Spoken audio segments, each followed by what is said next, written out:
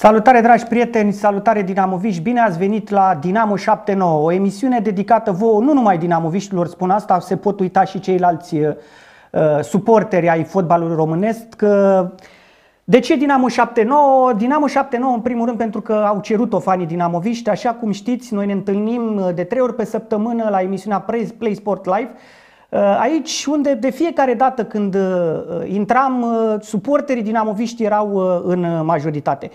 Am lucrat la proiectul ăsta și lansăm astăzi și din nou vă spun de ce Dinamo 79 și acest 7-9 este foarte interesant. În primul rând avem acest interval orar 7-9 PM, 19-21 și mai avem un element metaforic, dacă pot să-i spun așa, șoseaua Ștefan cel Mare, numărul 7-9. E, aici o să ne îndreptăm atenția către Uh, șoseaua Ștefan cel Mare numărul 79, adresa din buletin a clubului din Ștefan cel Mare, a clubului sportiv Dinamo în primul rând, cel mai important club din sportul românesc, cel mai galonat și adresa socială pentru SC Dinamo 1948 sa, uh, echipa de fotbal cu un patrimoniu imens. Patrimoniu imens sunteți voi, suporterii dinamoviști care ne urmăriți și sunt sigur că o să ne urmăriți într-un număr foarte mare. Așadar, dragi prieteni, bine ați venit la Dinamo 79! Te pup, Cătă. Nu vreau să spun decât multă baftă la noua emisiune și mă bucur nespus de mult că această emisiune o faci tu, unul dintre cei mai mari dinamoviști, cu ștate vechi în tribună. Te pup și multă baftă! Salut, prietene! Mă bucur foarte tare pentru noua emisiune pe care o moderez. Sunt alături de tine și voi fi mereu, pentru că profesioniștii adevărați întotdeauna se susțin în toate momentele din viața lor. Mult succes îți doresc! Cătăline, baftă multă la emisiune, tată, să fii sănătos și, bineînțeles, hai Dinamo, tati! Cătăline, baftă multă la emisiune și nu uita, câini până la moarte și dincolo de ea. Salut, fratele meu Catalin! Baftă la noua ta emisiune, mult succes și noroc! Bine? Și aștept o invitație să mergi în în România se mănânc mici și beri. Bravo, hai de grijă! Salut, fratele meu Cătălin! Bafta multă la emisiune. Sunt sigur că va fi mare succes. Aștept să ne vedem curând. Te salut, Captain! Multă baftă să ai cu noua emisiune. Salutare tuturor dinamoviștilor! Hai, Dinamo! Catalin, Bafta e noul tău proiect, așteptam să te vedem și încă o dată bafta.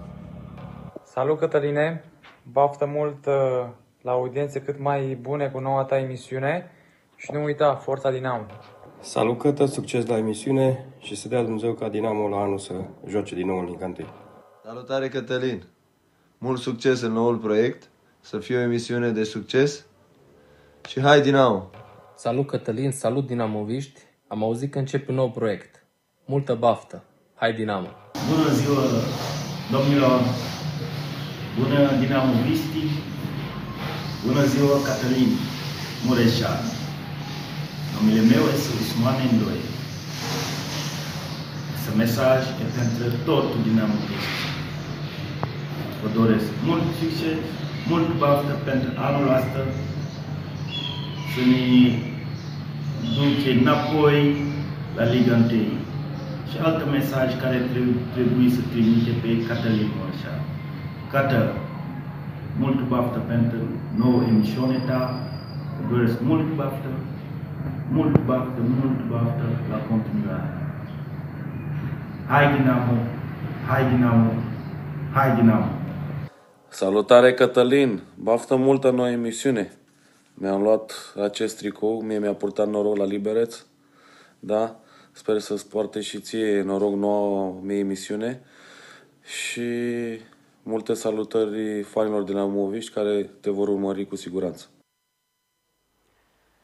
Da, se pare că huliganii din regie s-au uh, pregătit destul de bine, sunt emoționat. Acum sper să pot să duc uh, emisiunea, cu siguranță trebuie să-mi revin. Nu știam despre ce e vorba uh, și vă spun un singur lucru, dragi prieteni. Pe oamenii ăștia o să încerc să-i aduc aici și nu numai pe ei, pe scaunul uh, pe care astăzi este și mă bucur foarte, foarte mult că am reușit să-l conving să vină pentru că nu-i place atât de mult în fața camerelor.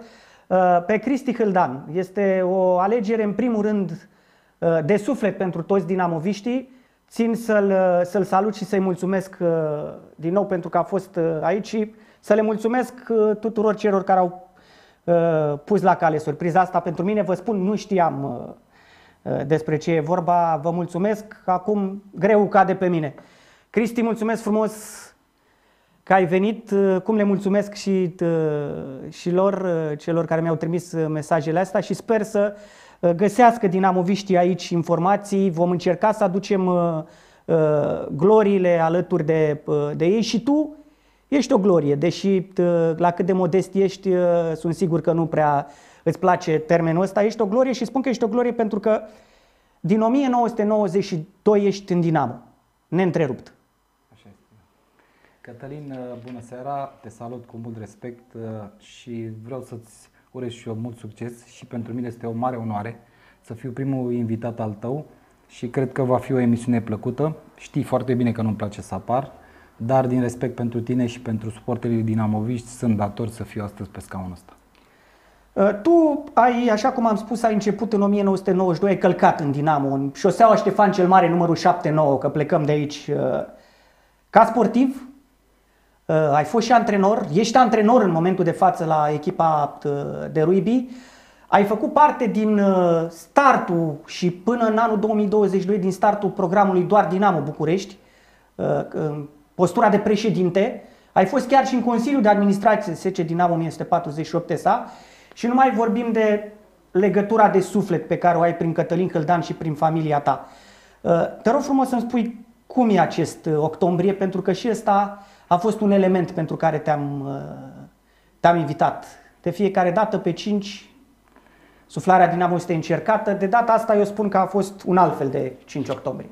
Da, că este adevărat. Este un, uh, un alt fel de octombrie, este un alt fel de an mai greu pentru mine și familia mea, pentru că l-am pierdut pe tata tot într-o zi de 5, 5 martie.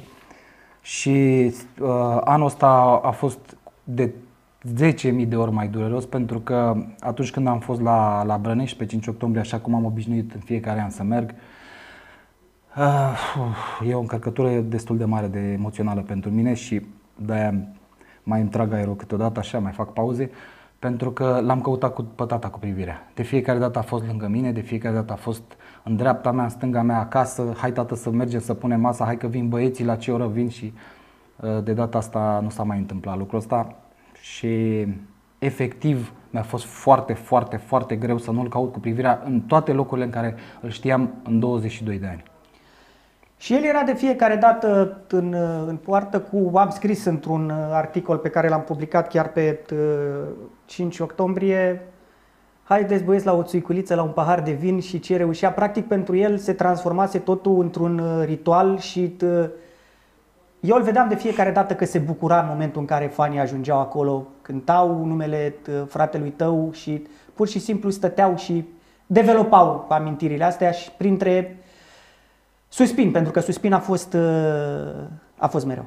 Da, tata întotdeauna trăia altfel ziua asta, parcă cu, cu mai multă pasiune, așa mai mult patos, pentru că văzând atâta lume care îl, îl, îl celebrează pe Cătălin și îi strigă numele, parcă îl făcea așa, îi aducea o mângâiere. Uite, tată, că tot timpul îmi spunea, uite că nu l-a uitat. Vezi și în fiecare an vin alții și alții care poate nu l-au cunoscut și sigur nu l-au cunoscut. Mi-aduc aminte că în urmă cu vreo șapte ani, opt ani am mers, pe, am mers la cimitir tot într-un 5 octombrie și am văzut copii cred că de 5 sau de 6 ani cu flori în mână la mormântul lui Cătălin și pentru mine, i-am, explic, i-am spus lui tata și uh, începuse să plâng atunci și mi-a zis, uite tata, când nu o să mai fiu eu, sigur ei vor veni aici la cimitir și uh, vor aprinde o lumânare sau vor veni acasă să, să cinstească un pahar de vin făcut de mine. Din păcate anul ăsta n-am mai putut săracul să facă vin și vorbeam cu mama că ne-a mai rămas făcut de el, de mâna lui cum îi spuneam noi, mânuțele lui, ca așa este, mânuțele mele, de mânuța lui a mai rămas vreo 50 de kg de țuică și ne uităm așa, eu nu sunt un băutor de țuică și ne uităm așa cu jin, știi, nu mai are cine să mai facă. Ai avut și o dorință, mi-ai spus înaintea uh, emisiunii, uh, fanii să nu vină la casă, cum se întâmpla de obicei. De ce ai luat decizia asta? Că practic era în ritualul ăsta, toți treceau înainte pe la casă, pe la Neamarin, uh, și după la cimitir sau chiar și în sens invers? Am luat decizia asta pentru că a fost, este foarte greu, este foarte curând ce s-a întâmplat, s-a întâmplat cu tata și pentru a proteja-o pe mama, pentru că acum mama este singură acolo, închipuieți o femeie la 76 de ani singură, toată ziua. Este foarte greu și atunci... Multă sănătate. Da, mulțumesc la toată lumea și uh, îți dai seama că, că urmă, venind atâtea, atâția suporteri, te, oricum ne răscolea. Era o încărcătură prea mare, oricum, practic. Oricum te răscolesc când vin și vin și cântă numele lui Cătălin la 22 de ani.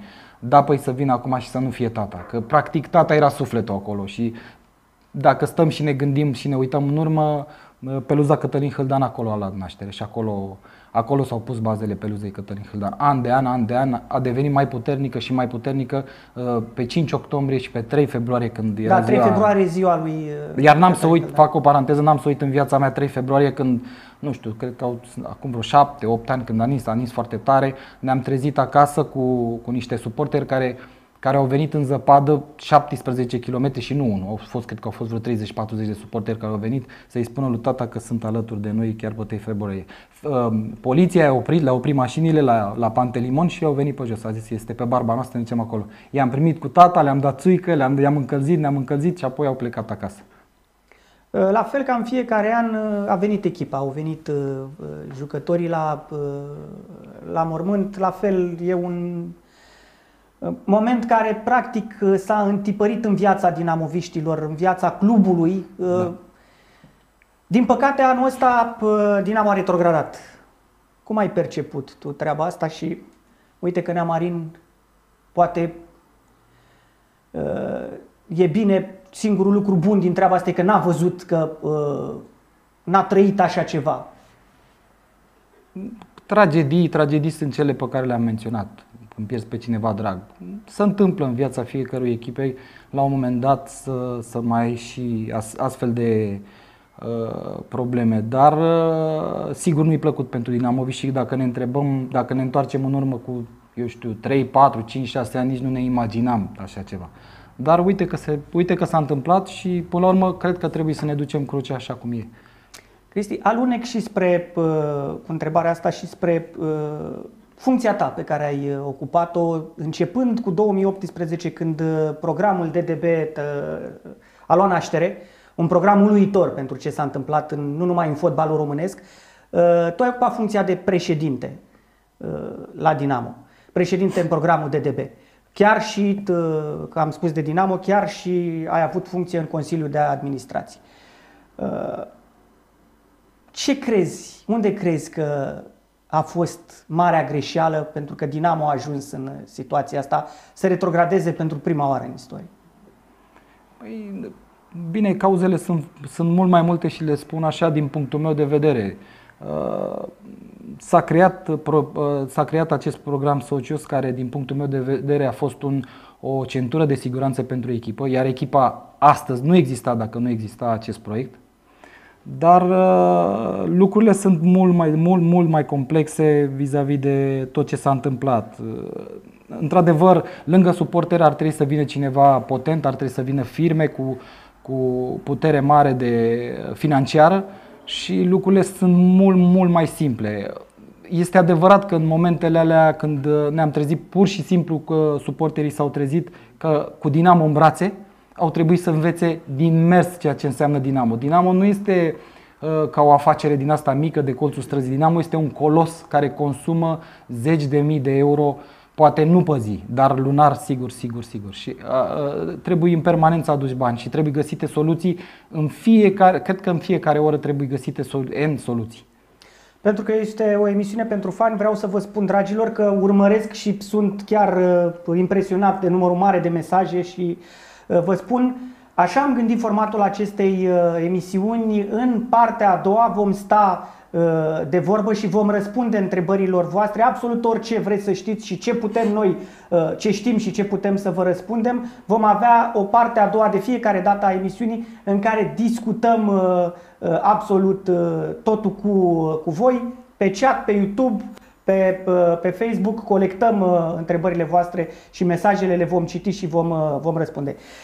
Cristi, revin la un mesaj pe care tu mi l-ai lăsat așa la ultimul interviu pe care l-am uh, realizat cu tine uh, în preajma zilei de 3 februarie 2021, ziua lui Cătălin. Da.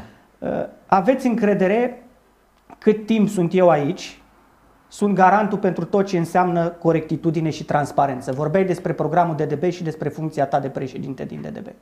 Nu mai ești în momentul de față, DDB-ul are un alt uh, președinte. Ce s-a întâmplat? De, de ce n-ai vrut să mai continui? Eu de altfel am și anunțat cu ceva timp în urmă că nu voi mai continua, uh, pentru că așa am crezut eu. Uh, și, și, și motivez. Dinamo avea nevoie la momentul, uh, la momentul acela, când vorbeam noi, aveam undeva la 15, peste 15.000 de socios și programul mergea extraordinar de bine.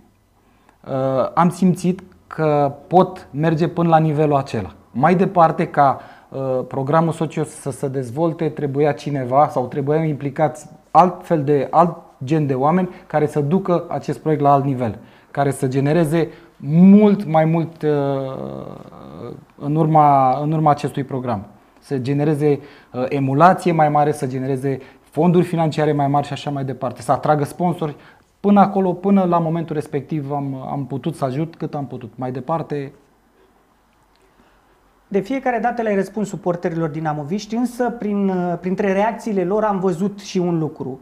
Mulți au spus că rolul tău în DDB a fost de multe ori Uh, decorativ. Tu, în momentul deciziilor importante, pentru că DDB-ul, trebuie să spunem, a luat decizii importante în cadrul clubului, a fost uh, prezent prin decizii, prin nu mai vorbesc de aportul uh, financiar. Însă în momentul deciziilor erai consultat? Da, eram consultat și era normal să eu să merg în Consiliul de Administrație și să reprezint punctul de vedere al, uh, al suporterilor. Simți că trebuia să ai un cuvânt mai puternic în unele cazuri?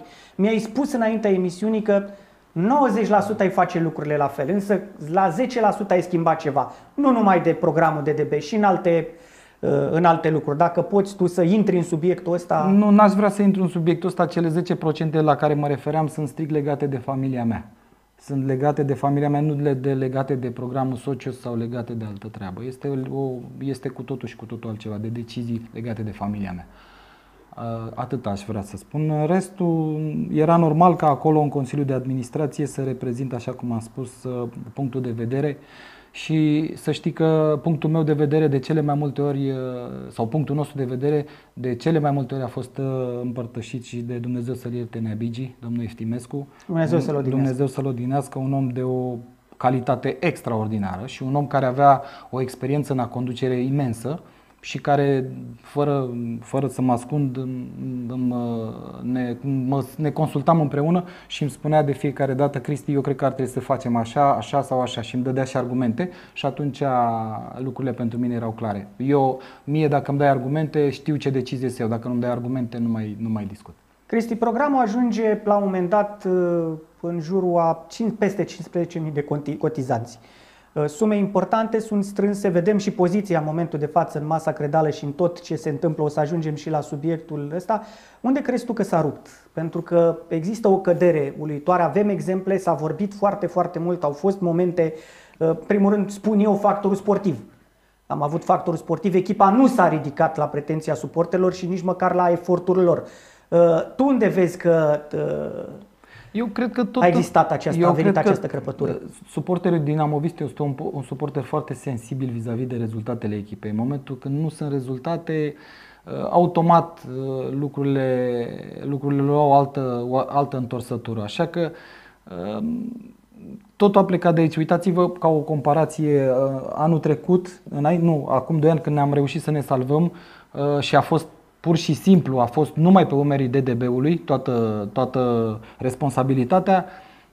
S-a reușit uh, salvarea de, de la retrogradare și s-au reușit și a atrage foarte mulți, uh, foarte mulți socios.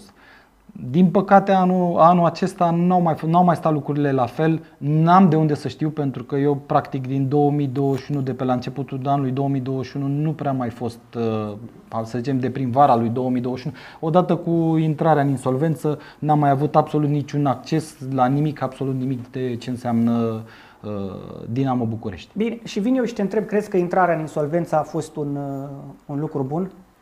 Cătălin a fost... Data, intrarea în insolvență vine într-adevăr și cu personaje noi în, în Ștefan cel Mare. Îl avem pe Răzvan Zăvăleanu din postura RTZ-ul și Răzvan Zăvăleanu, omul care te reprezintă și apare în fața suporterilor, le răspunde la întrebări, însă este un pion important în strategia lui Dinamo și apare și Iuliu Mureșan. Știm ce se întâmplă la episodul Rednic. L-ai trăit, îl știi cu siguranță, erai președinte atunci în, în DDB, iar atunci a fost o, o, o ruptură importantă, spun eu. Să știi că soluția a fost clară clară insolvența, pentru că la ultimul Consiliu de Administrație pe care, la care am luat parte, uh, pur și simplu am primit, s-a, primit un telefon, echipa era la într-un parc în Turcia în Galata, la Galatasaray, juca cu Galatasaray și efectiv erau probleme în, în a veni echipa înapoi, adică în costul a, a aduce echipa înapoi, probleme la cazare, probleme financiare grave. Și cred că asta a fost singura soluție ca Dinamo să trăiască. Era vorba de, a, de, a, de ca Dinamo să trăiască. Mai departe, n-am de unde să știu pentru că după ce s-a pornit procesul ăsta, repet, nu am mai fost consultat, nici eu n-am mai insistat. În DDB știu uh, care ați fost și care ați pornit uh, la drum o mână de oameni. Da. O să spun treaba asta, niște fanatici și niște fanteziști am spus eu atunci. Însă lucrurile au mers ă, bine. Însă la un moment dat în DDB există o ruptură și știi de ea.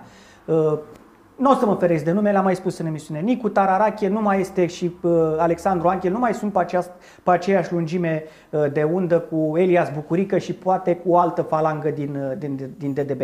Cum a fost momentul ăla? Contează atât de mult uh, că, că s-a rupt pentru că uh, era un, un bloc la un moment dat. Uh, DDB-ul. Nu mai vorbesc de uh, Daniel Șendre, care a fost uh, important în comunicare o perioadă uh, lungă. Cum a fost momentul ăsta? Acum te știu că ești un tip sincer și ca sportiv caruibist nu prea fugi de, de contacte. Nu, nu fug, nu, e, nu, nu este, n-am de ce să fug pentru că lucrurile nu, nu pot să intru în detalii pentru că nu le cunosc. Într-adevăr a existat o ruptură, dar nu știu exact ce s-a întâmplat. Nu, nu, niciodată nu am stat să intru în, în, în polemici cu oamenii sau să intru cu nasul undeva unde nu mă, nu mă privește. N-am de unde să știu. Este adevărat că a existat o ruptură, dar nu știu care au fost dedesubturile și care au fost culisele acelui, acelei Na, Nu te-ai interesat nu, mai mult să nu, mergi, nu. ai stat în... Practic eu, ca și președinte de DB, a fost un președinte de onoare. În afara faptului că mergeam în, la Consiliul de Administrație și mă consultam cu domnul Eftimescu și cu Mr. Cornel Dinu, restul ce însemna bucătăria da, pentru că interior, pe Cornel Dinu îl reprezentai, că de multe ori l-ai Și de foarte multe ori am vorbit cu dânsul și mi-a, mi-a dat niște sfaturi pe care, sincer, nu le găseam în altă parte și nici nu aveam de unde să le iau, pentru că vin în altă Uh, vin în alt sport cu, cu totul și cu totul alte, alte valori și cu totul și cu totul alte lucruri care se întâmplă în jurul sportului. Mai ales să ajung în Consiliul de Administrație al lui Dinamo așa dintr-o dată, nici nu mă așteptam. Dar am acceptat, uh, am acceptat pentru Dinamo, am acceptat pentru suporteri, am acceptat pentru ca Dinamo să trăiască și m-am uh, am învățat la, la locul de muncă, cum ar veni. Este sincer, când ai fost ultima oară la un meci al Dinamo? Mm, nu mai știu. De mult. De Sezonul mult. ăsta ai fost? Sezonul ăsta... După retrogradare, să spunem așa, să după, retrograda... asta. după retrogradare, nu. Nu. nu. De ce? Nu, m-am mai dus pentru că ceva, odată cu retrogradarea, ceva a murit în mine. Nu neapărat, nu că reneg sau nu mai sunt dinamovist, nu există așa ceva. Nu, dar ceva, ceva a murit în mine. Poate și faptul, este adevărat, poate și faptul că uh, am avut uh, probleme cu și ulterioare probleme după decesul tatălui meu pentru că mi s-au întâmplat tot felul de lucruri, nu vreau să intru în detalii. N-am mai fost conectat la tot ce înseamnă Dinamo și practic m-am îndepărtat ușor. Există ușor. și o altă supărare pe care nu vrei să o faci publică? Tot ce înseamnă Dinamo? Da, sunt. Sunt și vreau să rămână la mine. Sunt anumite frustrări de la care am ce învăța și am, acum învăț dar viața merge înainte, n-am ce să fac. Trag concluziile necesare și pe viitor încerc să remediez pe unde mai greșesc. Uh, și mai e un moment, uh, Cristi, l-aș puncta foarte bine, în uh, primăvară, dacă nu spre uh, vară, uh, Cătălin Hâldan Junior, fiul tău, pleacă de la Dinamo. Uh, E un moment uh, important și pentru tabloul familiei tale, cu siguranță. Vreau să te întreb, este o descătușare această uh, despărțire sau pur și simplu a fost uh, un moment uh, cu uh, un mare, un mare ghem în, în gât? Este puțin din Cum toate. ai simțit-o după, cum ai simțit-o înainte, o să te rog dacă poți, că e un moment important pentru dinamoviști. Este puțin din fiecare, pentru că băiatul meu și eu și familia mea am trăit, eu vreau să fac și o mică paranteză, sunt Te rog. din 92 la Dinamo, dar eu am venit cu fratele meu din 86, 85, 86, cam așa. 86. Exact, din, din anii ăia sunt în Dinamo și uh, de asta spun că este un amestec de fiecare sentiment, din fiecare sentiment, pentru că e normal după ce ai trăit atâția ani în Dinamo, parcă să te desparți așa brusc nu e prea plăcut. Dar respect și am respectat decizia, a fost un colectiv tehnic care uh, a alcătuit loc, lotul echipei uh, a doua pentru lotul echipei pentru Liga a doua. Le-am respectat de, de decizia, am Deci, înțeles. practic, Cătălin nu a făcut parte Nu din, a făcut acest, parte, da, din această nu. structură, din acest lot și atunci ai Da. fost nevoit împreună cu el. El e deja cavaler, nu mai uh, Da. uh, luați deciziile împreună. Uh, Ai, uh, ai decis că e mai bine să, să meargă în altă parte. La voluntari. Ai spus că am mai avut o ofertă, însă ai ales liniștea. Ne poți spune acum de unde era oferta asta? Că... Nu, n-am să spun oferta, nici nu, nici nu mai contează. Ideea este că, așa cum ai spus, este liniștit, este, nu mai are presiunea a ceea ce face orice gest, orice, orice lucru pe care îl face este, era, era imediat catalogat, nu semeni, nu ești ca și așa mai departe și avea o presiune foarte mare pe el. Acum este descătușat și eu la fel, pentru că uh, dacă lui nu era bine, nici mie nu e bine, este clar, ca orice părinte și lucrurile merg, sper să meargă bine în continuare. Se va întoarce vreodată Cătălin Hăldan Junior la Dinamo? Cu siguranță, dacă merită și dacă este dorit și dacă demonstrează că joacă, pe, joacă fotbal uh, pe placul lui Dinamo, 100% se va întoarce la Dinamo. Asta o spun și o spune și el, nu numai eu. O să mă întorc un pic în, și o să deschid cufărul amintirilor și mi-ai spus într-un interviu, m-am notat, mi-a plăcut foarte, foarte mult.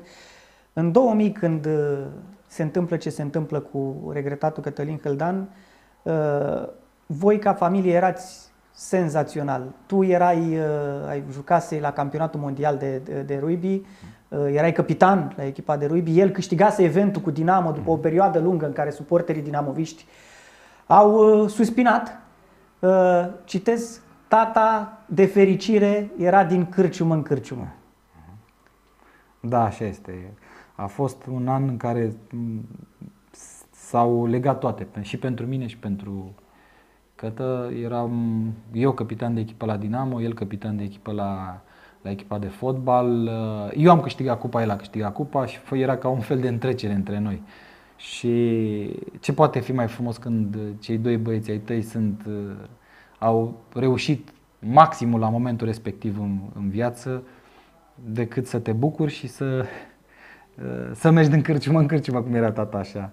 Dar uh, mai mult decât atâta vă spun că mm, în anul, cu un an înainte eu fusesem la Cupa Mondială de Rugby de Seniori și el în anul ăla fusese la Campionatul European de, de Seniori la fotbal și sunt, mai, sunt multe lucruri, ca- multe amintiri care mă, mă răscolesc acum și le-am trăit cu, cu mare bucurie și din păcate s-au curmat brusc.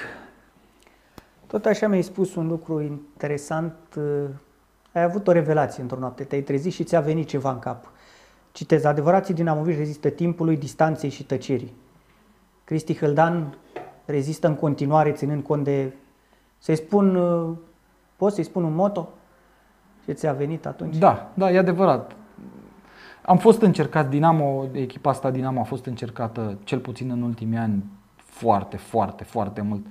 Și numai un dinamovist poate să spună ce, ce, ce, în ce trăiri trece și ce, ce amestec de sentimente și ce, ce porniri interioare și ce nopți de nesom și ce nopți în cârcium, nu știu, cum vrei, cum vrei să o iei.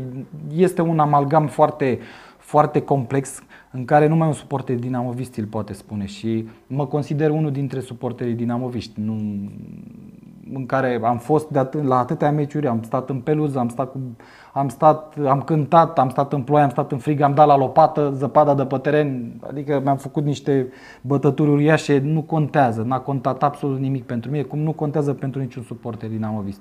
Fiecare trăiește în felul lui, dar trăiește intens în, în sufletul lui, în, în mintea lui, în tot ceea ce face.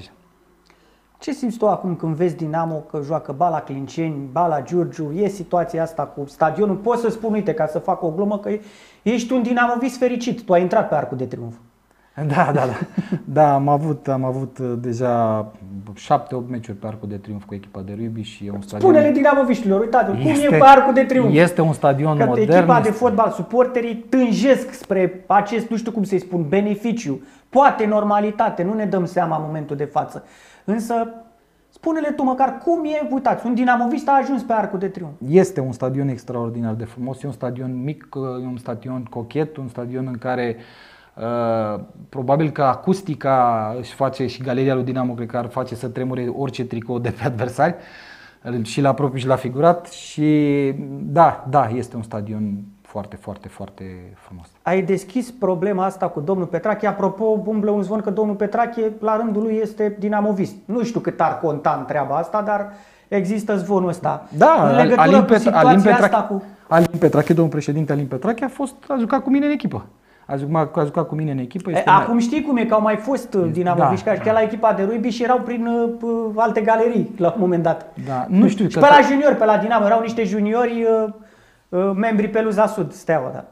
A mai schimbat lucrurile. Nu știu ce se întâmplă, n-am apucat să abordez uh, acest, acest subiect cu, cu domnul președinte Alin Petrache, dar cu siguranță, dacă mă întâlnesc cu dânsul, sigur îl, uh, o să-l uh, abordez pentru, măcar să fiu și eu informat. N-am avut timp de așa ceva și nici nu prea ne întâlnim. Eu sunt cu munca mea la Dinamo, la el la federație și nu prea ne intersectăm așa. E în familia asta a rugby-ului. Sunteți, eu am văzut la meciurile de rugby, de exemplu, pun, uh, nu consum foarte mult, dar când mă duc am văzut un public special și există așa ca o familie și ca o aroganță față de alte, alte sporturi. E loc, Cristi, și pentru fotbal pe stadionul ăla? Cu siguranță, eu am, am înțeles că, s-au, de fapt, s-au fost și antrenori. Sunt așa sunt... multe competiții, voi ați jucat cu Steaua acolo, da. Uh, urmează să mai jucați un meci da, pe 26 noiembrie semifinala tot campionatului. cu Steaua, echipa națională. Mai e loc și pentru Alexandru Pop să dea cu piciorul minge? Eu sunt convins că este loc, dar acum depinde de decizii. Cine, iau, cine ia decizia să nu știu ce, ce fel de unde, unde este problema. Dar uh, cu siguranță se poate juca. Sau de altfel, dacă nu mă înșel, s-a și jucat acolo fotbal. Fotbal nu? feminin, bineînțeles. Și parcă s-a jucat și ceva la... A fost, da, a uite, ceva, nu vine, dar știu că under, fotbal under ceva, under 20. Da, under, da, under, under, s-a jucat. Și s-a da, jucat. dacă ei au putut, de ce nu poate oricine? Adică nu știu unde e cheia și nu știu care este problema și n-aș vrea să patinez pe niște discuții pe care nu le cunosc. Eu îți spun ce... Pot să vorbesc ce știu și ce cunosc, altceva am spus de Alexandru Pop, dragi prieteni, nu plecați în această fereastră pe care o avem când când schimbăm liniile și Așa cum v-am spus, în partea a doua o să stăm de vorbă cu voi, o să vă ascultăm întrebările și încercăm să vă, uh, să vă răspundem. Uh, o să avem o pauză mică, nu-i spun o pauză, îi spun greșit uh, pauză, în care o să puteți urmări un interviu cu Alexandru Pop, golgheterul lui Dinamo, un băiat special, colegul meu Silvian Bădulescu, care o să vină în partea a doua aici lângă mine Uh, să mă, să mă ajute în discuția cu, cu voi. A fost astăzi, uh, a fost ieri la Săftica, a realizat acest interviu pe care îl puteți vedea, uh, puteți citi și îl puteți urmări și pe YouTube-ul Play Sport și pe playsport.ro și o să aveți o bucată și în, în această fereastră între cele două părți a emisiunii noastre. Cristi, revin la tine.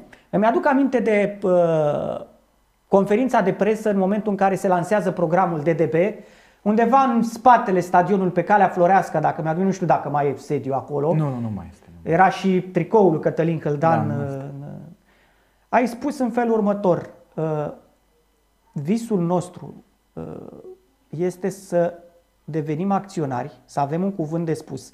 E, în momentul de față, asociația, asociația Peluza Cătălin Căldan este foarte aproape să devină chiar acționar majoritar. Pentru că este o diferență clar când ești acționar minoritar, acel procent de 20,06 deținut de PCH uh, și 99% ce ar urma să se întâmple, ești la curent, prietenii noștri sunt la curent cu ce se întâmplă, ce ar însemna asta pentru viitorul lui Dinamo?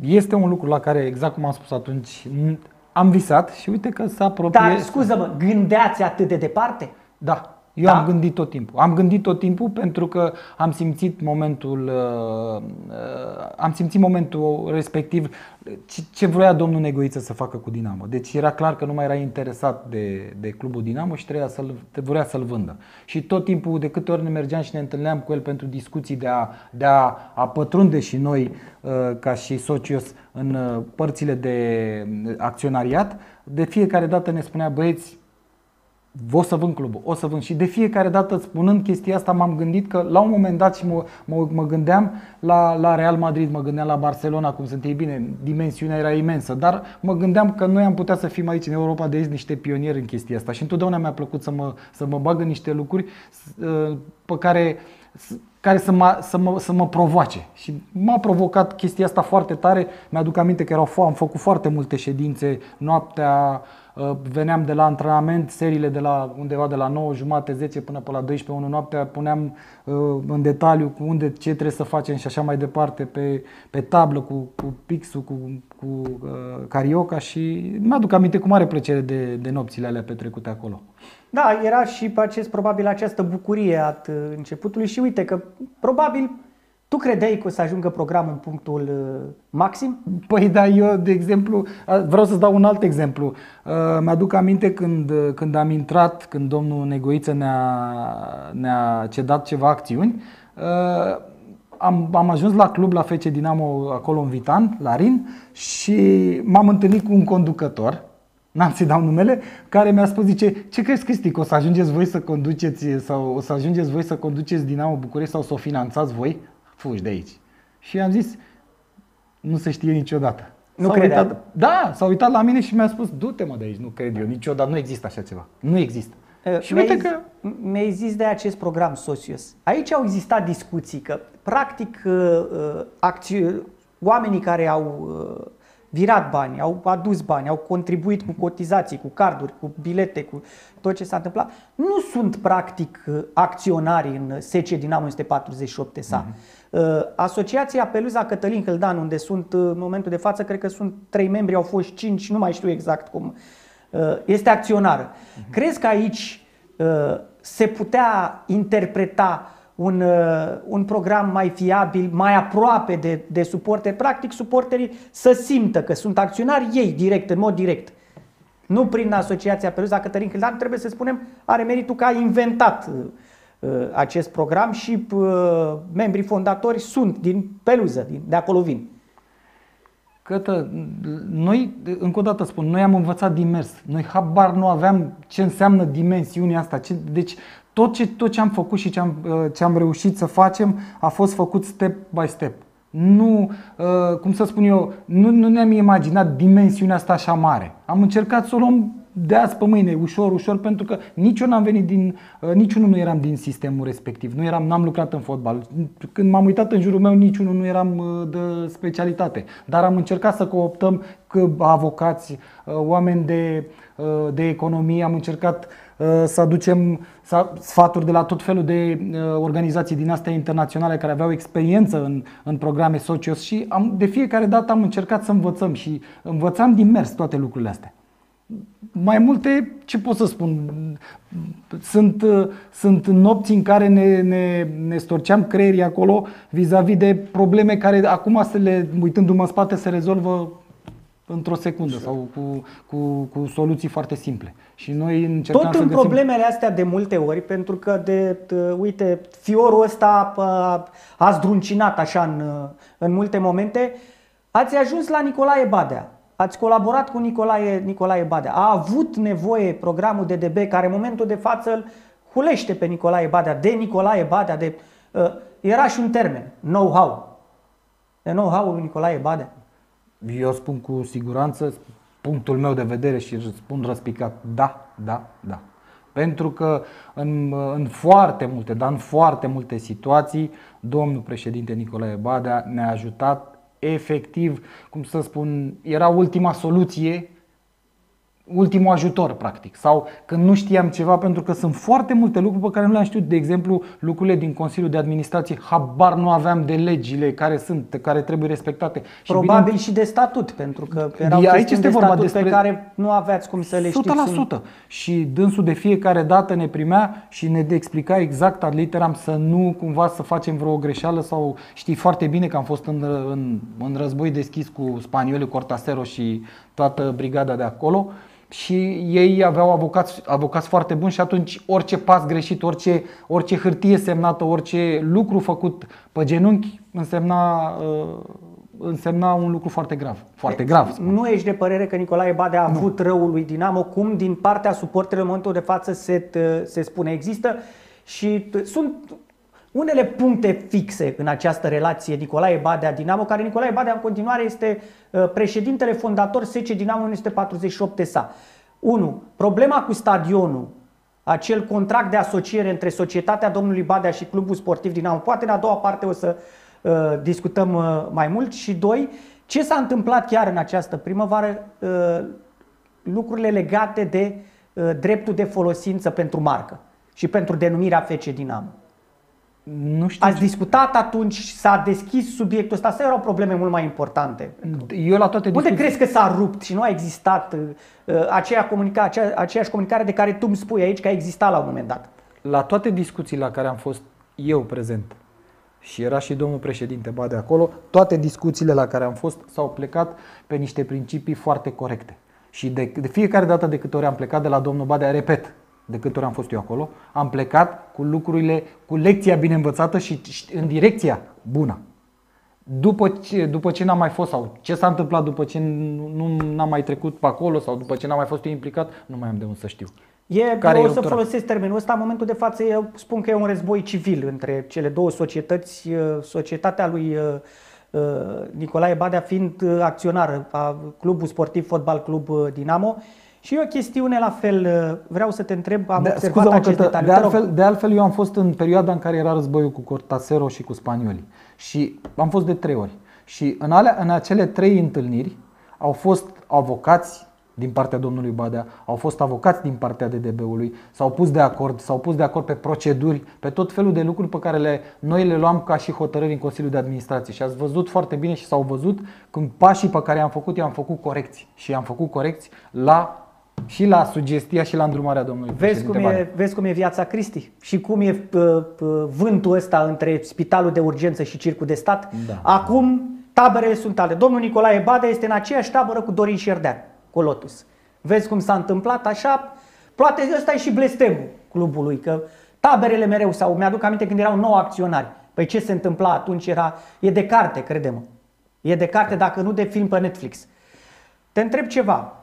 Uh, am observat un detaliu. Atât echipa uh, clubului sportiv uh, Fotbal Club Dinamo din Liga a 4 cât și echipa din Liga, Liga a doua unde există acest patrimoniu uluitor al suporterilor, ambele formații joacă cu chipul lui Cătălin Căldan pe piept. Se s-au adresat, au dreptul ăsta din start nu, echipa, echipa uh, din Liga 3 CS Dinamo București. Nu, nu. CS Dinamo nu. CS Dinamo nu, nu are echipul lui nu, uh, Cătălin Căldan. Liga a 4 Clubul da. Sportiv Fotbal Club Dinamo, echipa lui Nicolae Badea, cum se spune, mm. și echipa din Liga a doua. Au acceptul familiei, e totul... Da, cu... Știi de ce te întreb? Pentru că în decursul anilor au mai fost uh, scurt-circuite de acest gen. Cred că mi-aduc aminte pe vremea domnului Negoiță a existat o discuție. Parcă. Da, este adevărat. Atunci a fost pe Uh, pe vremea domnului Negoiță, a fost o chestie de genul. Uh, cu domnul președinte Badea, care m-a și ajutat foarte mult și trebuie să recunosc că este un om care este alături, singur, între puținii care mai rămân, a rămas alături de familia mea. Da, am, uh, am, i-am acordat dreptul. În ceea ce privește echipa din Liga a doua, nu. Deocamdată nu i-am dat, dar nu Uite că am zis că nu, nu... Deci nu e, echipa din Liga a doua nu are. Nu, nu are. Stea e și aici o problemă, să știi, Cristi. Asta este o chestie de, de etichetă uluitoare pentru un club ca Dinamo. Dacă tu, până în momentul de față, nu ai rezolvat cu familia Hâldan, cu tine, din păcate Neamari și nu cred că se băga el în discuțiile astea foarte, foarte mult. uh, Nu reușești să rezolvi problema asta, din punctul meu de vedere, este ca jurnalist. E o mare problemă. Să joci acolo și să, uh, să folosești uh, aceste însemne de suflet pentru club și să nu ai până acum rezolvat această situație. Păi asta ține... ține E și o frustrare pentru tine. Uite, eu merg mai departe în obrăznicia mea profesională. Este, da, este o frustrare pentru mine, dar lucrurile astea se pot rezolva printr-un dialog. Deocamdată nu Dar am nu a avut. existat dialogul ăsta, nu te-a deocamdată chemat nu, nimeni la Nu, dialog. n-a existat dialogul ăsta. Singur, singura dată când am vorbit pe problema asta a fost, uh, exact cum ai spus și tu, la, cu 2013 sau 2014 cu domnul Negoiță. De atunci nu s-a mai De discutat. atunci nu s-a mai discutat discutat, și... Nu. uh, Nu. Poate s-a discutat prin programul doar Dinamo București, care t- p- este în, uh, activ în viața lui Dinamo. Mă gândesc, încerc să găsesc o, o, o explicație. Că e simplu, în Liga a patra, Dinamo, societatea lui Nicolae Bade, a cerut dreptul și are Da, dreptul este tău. adevărat, da. Echipa din Liga a doua, unde tu ai fost și ai fost voluntar, Da. să spunem, Da, da. atâta 100%, timp și ești 100%. legat, nu a cerut acest drept. Poate cineva se uită și rezolvă această uh, problemă. Să mergem uh, mai departe. Uite, am o întrebare că am zis că o să în partea a doua o să întreb, însă ne întreabă un suporter și eu mai încerc. Spune-ne numele conducătorului care ți-a spus că programul nu o să ajungă acolo. Nu, nu vreau să spun, dacă am spus că nu spun, nu o să spun nici acum. Dar uh, mi-a rămas în, întipărit în creier și atunci am spus așa, zic, "Mm, m-am, eu, eu mă pun și ca un, uh, ca un măgăruș așa cu picioarele din spate, nu se poate, n-am cum, nu, eu trebuie să reușesc. Și nu, nu-ți ascund faptul că în primul an de zile au fost decât 300 sau 400 de socios. Și am tras, am tras cât am putut de, de mult de programul ăsta prin diferite câte metode pe care le aveam la îndemână.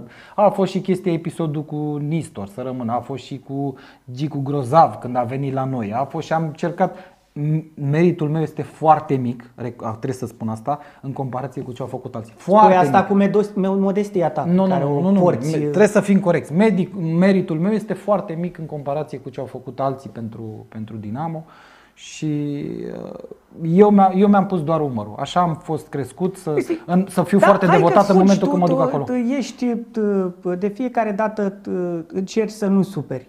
Așa ești educat tu. N-am de Dă-ne ce să câteva supăr. nume, să vedem și pe oamenii ăștia care sunt pentru, spunem program doar Dinamo București. Elias Bucurică, președinte, Păi au, au, au. Cine mai e? Care este, sunt? Este, care? a Dă-ne fost, câteva este nume. și a fost un, un, un om care și-a asumat foarte multe și pur și simplu a, a tras cât a putut de, de mult pentru, pentru programul ăsta. De, și și-a asumat foarte multe lucruri. Și-a asumat și lucruri bune și lucruri mai puțin bune, dar din punctul meu de vedere a făcut foarte multe pentru programul ăsta. Cine te-a uh, dezamăgit din toată această sferă a lui Dinamo în ultimul an, să spun, în care prindem și retrogradarea, prindem tot ce s-a întâmplat cu uh, Cine m-a dezamăgit? Sunt niște, sunt niște lucruri care s-au întâmplat doar în dreptul familiei mele și n-aș vrea să, să, să pun degetul și să arăt sau să, să deschid o rană care nici acum nu este închisă, dar așa cum am spus, merg înainte și trag concluziile necesare. Bine, spun, uh, trag eu Cam o linie asta e. așa. N-am văzut un, uh, un element la pe 5 octombrie. Nimeni din familie nu a fost la mormânt când, au venit, când a venit echipa. Da, e adevărat, n-am fost. Este adevărat, n-am fost de prima oară în 22 de ani când am fost și nu am fost din anumite considerente pe care nu vreau să le spun acum. Am înțeles, îți respect treaba asta. Cu, ai votat la alegerile DDB? Nu. Odată cu,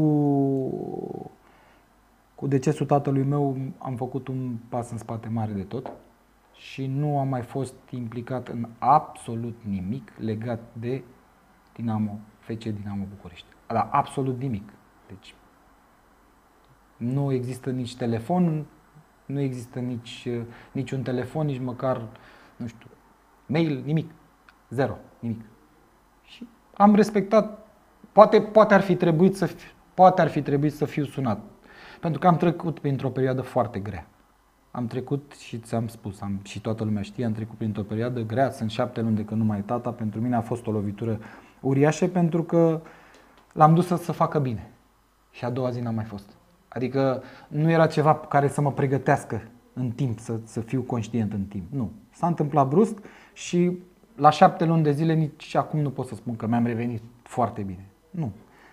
Și probabil că de-aia am, am fost și eu puțin mai retras, dar cred că De la cine trebuia să vină telefonul ăsta pe care îl așteptai? nu neapărat de la, cine, de, de la cineva anume, dar poate, poate ar fi trebuit să, nu știu, altfel, să găsească soluții sau să găsească niște căi de comunicare. Toată lumea știe unde lucrez, știe, mă, știu unde mă găsesc. Poate, cine știe. Nu, nu știu, n-aș vrea să intru în foarte multe detalii, sunt niște chestii pe care uh, sunt la mine în suflet și le țin acolo. Spune-mi, te rog, cum are simțit Cătălin Hăldan Junior uh, uh, dispariția uh, lui Namarin uh, pentru că era o echipă. Așa mi-ai spus tu în momentul în care am făcut uh, reportajul și în momentul când am coborât spre teren, l-am văzut pe Neamarin în mașină. Practic nu cred că exista antrenament să lipsească antrenament al lui uh, al juniorului. Meciuri, nu mai spun, mi-ai și povestit faza aia cu autocarul absolut genială în care Neamarin, Dumnezeu să-l odihnească, s-a luat, s-a dus după un alt autocar, ca, în, ca în filme. Da, avea un meci la Brașov și s-a, s-a ținut după un alt autocar care era roșu. Și m-a întrebat, mi-a zis, l-am întrebat, zic, tată, n-ai ajuns că, uite, geanta, geanta cu echipament era la Cătălin. La, era la, la el, la tata, și în mașină. Și i-a zis, păi tata, n-ai ajuns? Păi unde ești? Păi uite, e autocarul în față. Păi zic, tocmai ești la, tu, Cătălin e la teren și tot tu pe autocar ești? Aoleu, tată, ăsta e cu numere de, de Germania. Cum Da, a sărac. fost pentru Cătălin? Și el a trecut prin probleme de sănătate, a avut unele probleme, a fost și Da. această ruptură de dinamo care Da. poți să-mi spui orice, dar eu cred că a rămas acolo ca o așchie. Uh, Cum, uh, cum a simțit? Este foarte, a fost foarte greu și pentru el și băiatul meu este foarte tare. Este un copil care este, în primul rând, este cu minte și este un copil introvertit, un copil care duce, duce greu, duce mult și greu. Lucruri grele pentru vârsta lui și închipuieți că au fost, au fost un timp foarte bine sudat. De mic, de la 9 ani, a, l-a dus peste tot, la toate terenurile, la toate antrenamentele, n-a lipsit la niciun antrenament, la niciun meci n-a lipsit. Și gândește-te că uh, uh, atunci când mergeau în mașină spre teren, discutau o grămadă de chestii. Și l-a dus spre teren și l-a întors spre, spre casă. E, este o, o pierdere incomensurabilă pentru el și știu cât de mult își dorește să reușească ca tata de acolo de sus să, să-l privească satisfăcut. Și pentru el în permanență e o presiune. Și care era visul lui Neamarin legat de... Sincer, era să-l vadă și pe el să joace la Dinamo. Ăsta era visul, da. în prima echipă. Da. A existat un moment, momentul de la Kiev. Da, a Crezi că existat, a existat Cătălin și acolo I-a spun, fost pe... îți spun cinstit că acolo trebuia, ar fi trebuit să, să merg și eu alături de tata și de băiatul meu și uh, mai mult eu l-am împins pe tata să meargă. Eu am rămas acasă că am avut meci într-adevăr și tata mi-a zis că se duce cu- și totdeauna mi-a spus că se duce cu mare plăcere pentru două lucruri, pentru nepoțelul lui, ca așa îi spunea, și pentru suporteri. Că știi, dacă ți-aduce aminte, atunci a fost vorba despre o strângere de fonduri. Da, de fonduri erau. Undeva la 200 și ceva de mii de euro s-au strâns în urma meciului respectiv și tata a răspuns tot timpul, ca și eu, ca și băiatul meu și familia mea a răspuns când e vorba de Dinamo și de suporte, răspundem tot timpul prezent. Și a, f- a fost foarte încântat. Mi-aduc aminte că l-am luat de la aeroport, era și uh, Nea Gigi Mulțescu și ne, îmi povestea f- de tata că era foarte, a fost foarte emoționat. Bine, și eu am fost extrem de emoționat când am văzut prezentarea echipei și când a intrat pe teren, numai în sufletul meu să nu fi fost. Are tricou acasă cu, și îl păstrează cu mare, mare cinste și mare bucurie și poate dă Dumnezeu să... Totuși visul lui Neamarin era să-l vadă într-un Da, meci da, da, da, da. oficial, Da, poate și chiar niște sincer, bani. E normal, era o Cătălin, chestie. dacă mă întreb pe mine dacă s-ar fi vrut, se putea. Aduți aminte, Măcar simbolic zici Uh, că... Aduți aminte că... Nu, nu o să mă feresc și o Da. să spun pentru că la noi la presă ajung tot felul de discuții și în uh, toate discuțiile astea legate de încercăm să ascultăm pe toată lumea și Mulți spuneau că, domne, nu e de Dinamo. Și antrenorii au spus-o, domnul Ursu, dacă nu mă întreb. Da. Nu e de Dinamo. E clar că tu, soția ta, Mari, vedeați subiectiv, altfel, cu alt. Nu știu unde e adevărul. Dacă era sau nu era, pentru că, se spun sincer, nu l-am văzut la niciun meci pe, pe Cătălin. La, la antrenamente l-am văzut. Nu pot să vin acum să mă poziționez, nu ar fi corect. Însă a existat și treaba asta, domne, nu are uh, uh, valoare. Chiar domnul Ursu a spus că a fost împins de uh, programul de debeș de galerie să joace. Nu vreau să discut despre acest domn. Ideea este în felul Ai următor... discutat, nu e, nu, nu domnul nu, Ursu face, e trecută, e... Nu, nu, nu, nu, nu mă interesează această persoană. Ideea este în felul următor, că dacă ar fi vrut, dacă s-ar fi vrut ca băiatul meu să debuteze pentru Dinamo București, uh, se putea, se putea. Mi-aduc aminte că au fost și au fost meciuri și în 5 octombrie și dacă vrei să debuteze, cum au debutat foarte, foarte mulți alți jucători, dar foarte mulți da, alți, care nu mai, lui care, care în momentul mai, de față sunt la prima unii echipă. Unii sunt sau care unii nu mai sunt. Da, Exist, unii s-au și lăsat. Exista și regula aceea și există și acum regula aceea care puteai, dacă, dacă n-aveai, puteai să-l bagi un minut și să iasă sau ceva de genul. Nu contează, deci nu, nu, nu mai vreau să, să-mi aduc aminte de lucruri din spate. Așa a fost să fie, așa s-a hotărât, am respectat orice decizie și cu asta basta mergem înainte, ne vedem de drumul nostru. Și mergi mai departe cu, da. eu o să-i spun o suferință în continuare. Ce le promiți suporterilor dinamoviști? Aveți derby cu Steaua din nou. Ați avut două meciuri, uh, o victorie în Ghencea, frumoasă, dragă ție. Da. Ți-am spus, trebuie să spunem din nou, în postura antrenorului secund. Cristi Hăldan, în momentul de față, face parte din uh, echipa clubului sportiv Dinamo uh, la secția de, de, de Ruibi. Echipa se află în uh, play-off pe locul, uh, pe 2 sunteți? Pe 3. Pe 3, că CSA este, Steaua este pe, pe 2. Aveți meci în semifinale cu, uh, cu Steaua. Spunem, se joacă pe arc, da? Da, aș vrea să fac o paranteză înainte. Te rog. Uh, miercuri, pe 26 octombrie, avem meci de semifinala Cupei României la Timișoara. la Timișoara. Suntem în, plin, în pline pregătiri, pe ultima sută de metri. Sperăm din tot sufletul să, să câștigăm meciul de la Timișoara ca să ajungem în finala Cupei. Iar următorul pas este duelul cu Steaua din semifinala campionatului pe 26 noiembrie și vreau să, vreau să invit toți suporterii dinamoviști să susțină echipa, poate și pe mine, și sper din tot sufletul să pot să, să le ofer suporterilor și un, un, un trofeu anul ăsta din postura de, de antrenor, pentru că în postura de, de jucător am șapte titluri și vreo cinci cupe ale României. Șapte titluri cu Dinamo? Da, da. da. Păi și... sunt, cred că, dacă nu mă înșel eu, 16 titluri de campionare din da, nu toate. Da, da, da. Deci păi am fost, uh, echipa în care am făcut parte a fost cea mai prolifică. Uh, cu toate că cei dinaintea noastră, jucători de mare, mare valoare și de mare, mare caritate, au nimerit, uh, de fapt, cred că nu au avut noroc, pentru că marea majoritate a jucătorilor de care vorbesc mergeau la echipa națională. Și uite că nu s-a legat în istoria asta așa din 1948 până în 1992 au fost câteva titluri, au fost sporadice, dar echipe foarte mari, cu jucători uriași, colosali, jucători de mare calitate. Cristi, pe final, că mai avem foarte puțin, uh, o oră, ți-am zis și îți mulțumesc din nou pentru că ai venit. O să, dacă accepti tu câteva întrebări din partea, din partea fanilor dinamoviști, îți spun în număr mare. În număr mare nu și cred că, în primul rând, tu ești, cu ghilimelele de rigoare, vinovatul pentru numărul ăsta nu, mare. Cred. Eu cred și ți-am zis în momentul în care te-am invitat de ce vreau să fii tu primul aici pe, pe scaunul ăsta, unde o să încercăm să aducem foarte mulți oameni care au scris istorie pentru Dinamo și oameni, de ce nu, care iau decizii în momentul de față pentru, pentru Dinamo de la cele două entități, Clubul Sportiv Dinamo și uh, SC Dinamo este 48 sa. Dacă evenimentele vor impune, o să ne îndreptăm și spre CSFC Dinamo pentru că fie că vor suporteri dinamoiști, fie că nu vor, ă, această societate este legată de SC Dinamo 148 sa. O să, ă, așa cum ți-am spus, o să te întreb, ă, o să-ți adresez câteva întrebări. Uite, Mici, asta te întreabă dacă te-ai simțit folosit. Nu, cred că nu m-am simțit folosit, că nu pot să fiu folosit împotriva voinței mele. Am venit cu mare drag alături de Dinamo, am acceptat să stau uh, zi și noapte lângă Dinamo și voi sta indiferent de unde voi fi. Sunt dinamovist și cu asta o să mor.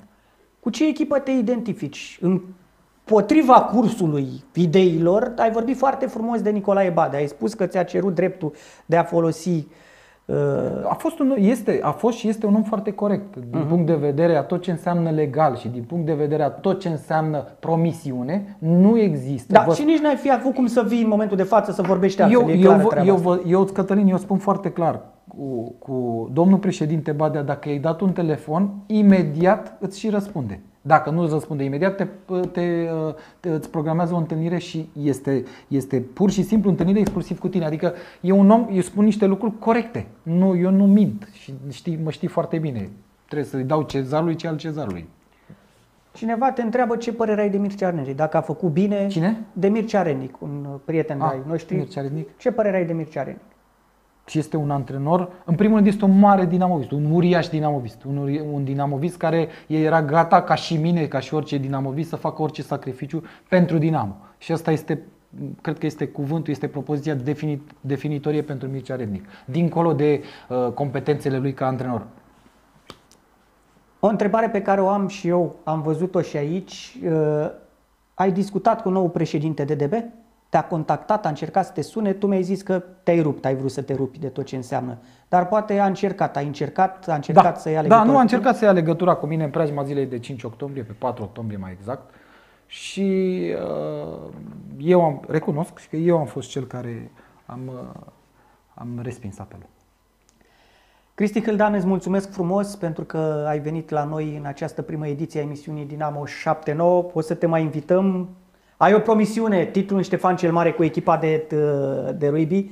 Depinde de, de tine. Ar mai fi fost întrebări, să știi. Cătălin, vreau să mă inviți așa.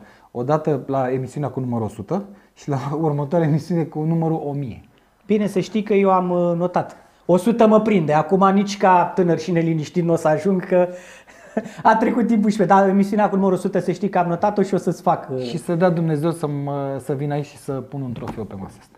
Și să vorbesc din spatele trofeului. Să dea Dumnezeu, uite, altă promisiune am uh, notat-o. Pe voi uh, nu plecați, urmează interviul cu uh, Alexandru Pop, golgheterul uh, lui Dinamo. Uh, și după intrăm în discuție, vă răspund la întrebări uh, absolut uh, tot ce pot să, uh, să spun și ce știu că e foarte, foarte important și de ce nu, ca așa ne stă nouă bine, nu numai dinamoviștilor tuturor, să uh, te dăm și cu, cu părerea. Așadar, te rog, Mihai, uh, beta cu Alexandru Pop.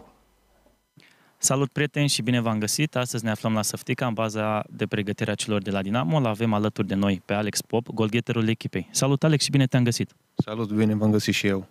Uh, Alex, trebuie să-ți mărturisesc, în drum spre Săftica mă gândeam ce introducere să-ți fac, dar cred că cel mai bine te las pe tine să-ți faci o scurtă descriere suporterilor dinamoviști care ne urmăresc în acest moment. Păi, în primul rând, cred că prima calitate pe care am sunt un, un om muncitor. Îmi place să muncesc, îmi place să mă antrenez. Îmi place și mai mult că am ajuns la această echipă mare. Sunt și un băiat ambițios, tot timpul vreau mai mult de la mine, mai mult de la echipă, tot timpul tind la, la cel mai înalt nivel. Alex, suntem la Săftica. Uh, Din ce mi-ai transmis înainte de interviu, tu aici stai.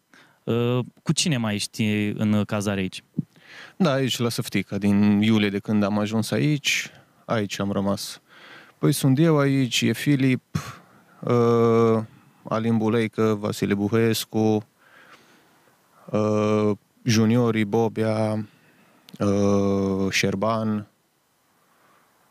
Mai Sunt și jucătorii străini, spaniolii, francezii?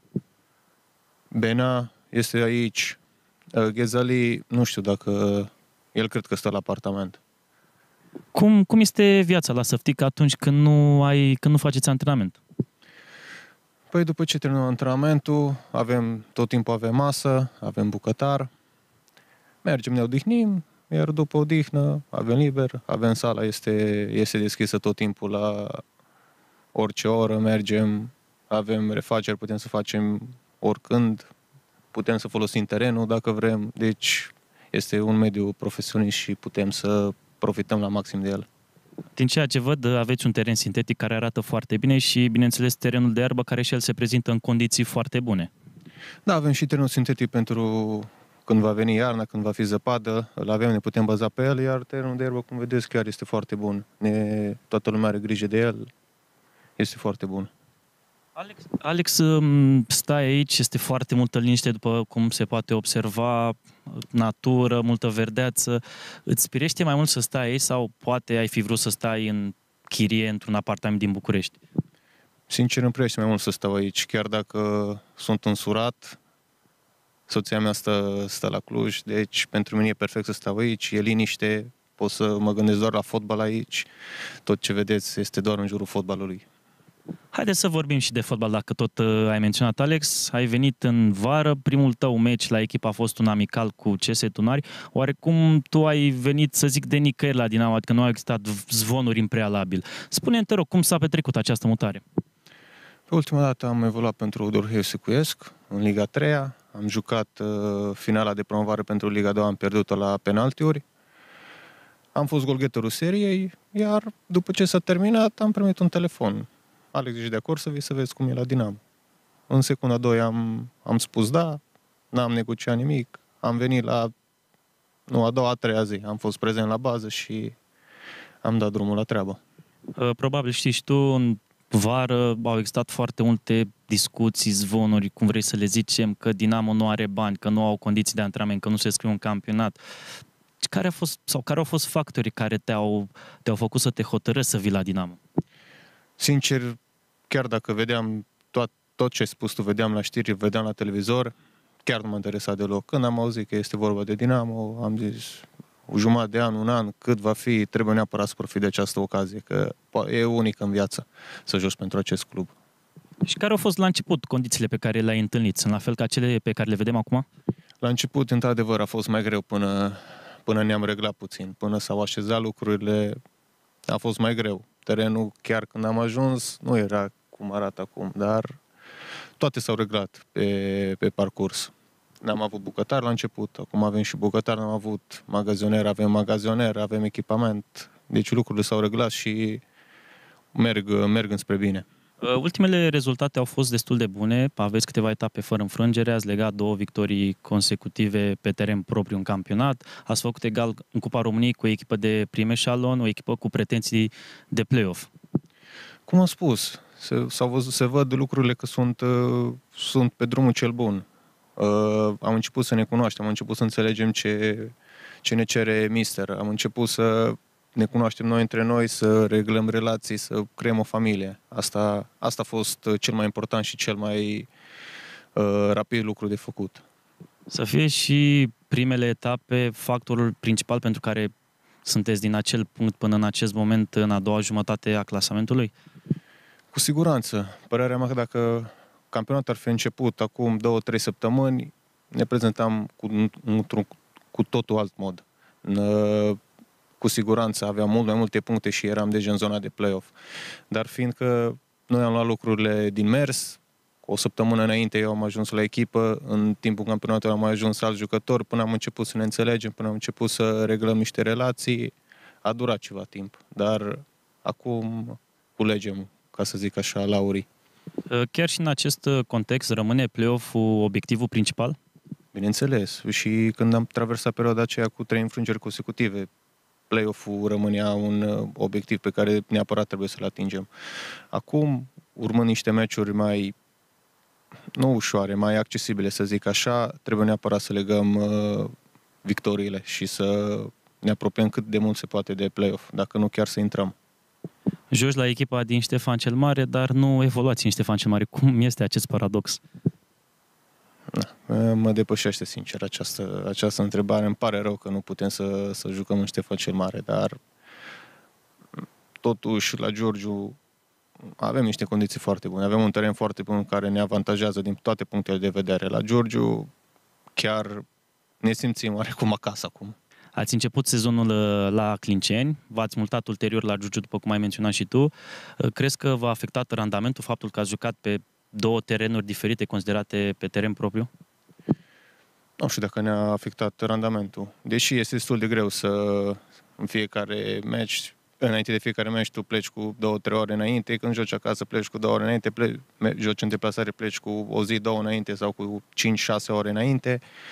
Deci asta pot să spun că este un lucru mai supărător. Dar noi oriunde am jucat, trebuie să ne facem treaba cât putem de bine și să câștigăm. Uh, încă de la începutul sezonului s-a vorbit intens de varianta Arcul de Triunf. Ce ar însemna asta și pentru voi, dar și pentru suporteri? Crezi că ar veni într-un număr și mai mare la stadion? Dacă ar fi să jucăm pe Arcul de Triunf, cred că ar fi ceva extraordinar. În, cu siguranță vor veni un număr mult mai mare dacă am jucat acolo. Cel care face playlist-ul este? Hmm, Amzar? Cred că Amzar. Dar în ultimul timp s-a ocupat mister de playlist. Nu va mai lăsa pe voi să vă puneți muzica? Nu. Um, cel care stă cel mai mult în oglindă înainte de mes sau de antrenament? Țără. Se ocupă foarte mult de propria imagine. Da. Cel care ajunge mereu primul la antrenament este? Fara. Cel care ajunge mereu ultimul? Bordușanu. care este jucătorul cel mai înnebunit după modă? Mm. Sau jucătorul care ți se pare că se îmbracă cel mai bine? Țără. Tot țără. Cel mai tehnic jucător la antrenament este? Banii sau Bordușanu, dar cred că banii. Cel mai bun executant de penaltiuri? Alin Buleică. Cel mai dur jucător de la antrenament? Cred că eu.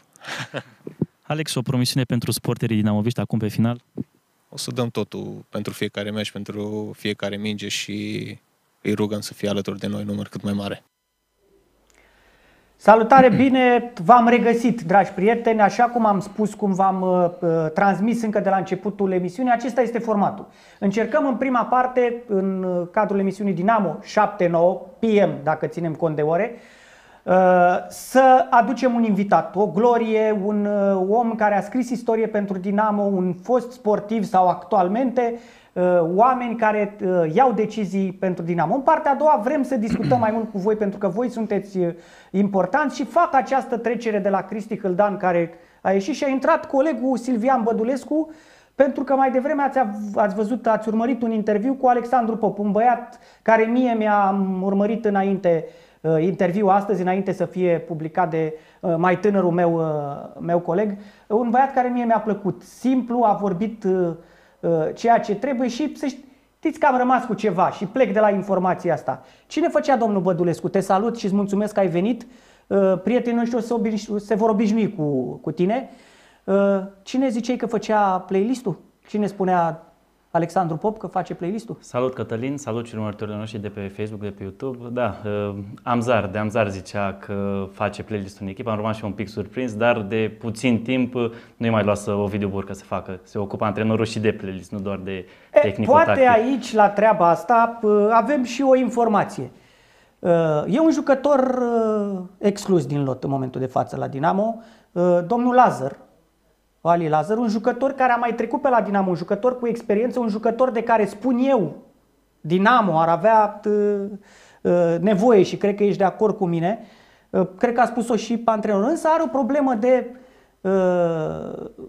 de educație, să-i spun, de aici, de la asta. Și l-am avut pe Cristi Hâldan și uite că nu i-am adresat întrebarea asta pentru că efectul emoțional deja era destul de uh, Uh, de mare. După meciul de la uh, Giurgiu, unde tu ai fost, victoria cu Unirea Slobozia, de, în ziua în care dinamoviștii comemorau pe unicul capitan, din, uh, din vestiar răsunau manelele.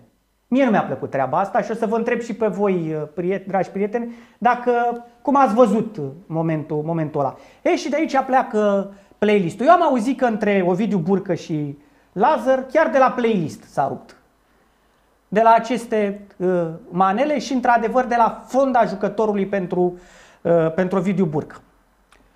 Spunem cum uh, chiar așa puternice erau manelele alea, ai fost la meci atunci cu Da, da, da, am fost la meci, a fost, cum ești tu, meciul în care l-am, suporterii și jucătorii l-au comemorat pe Cătălin Hâldan. După meci, la zona mixtă, Eram eu și colegii de la alte redacții, geamul deschis la vestiarul dinamoviștilor și se, auzeau, se auzea muzică lăutărească, manele, destul de, destul de tare.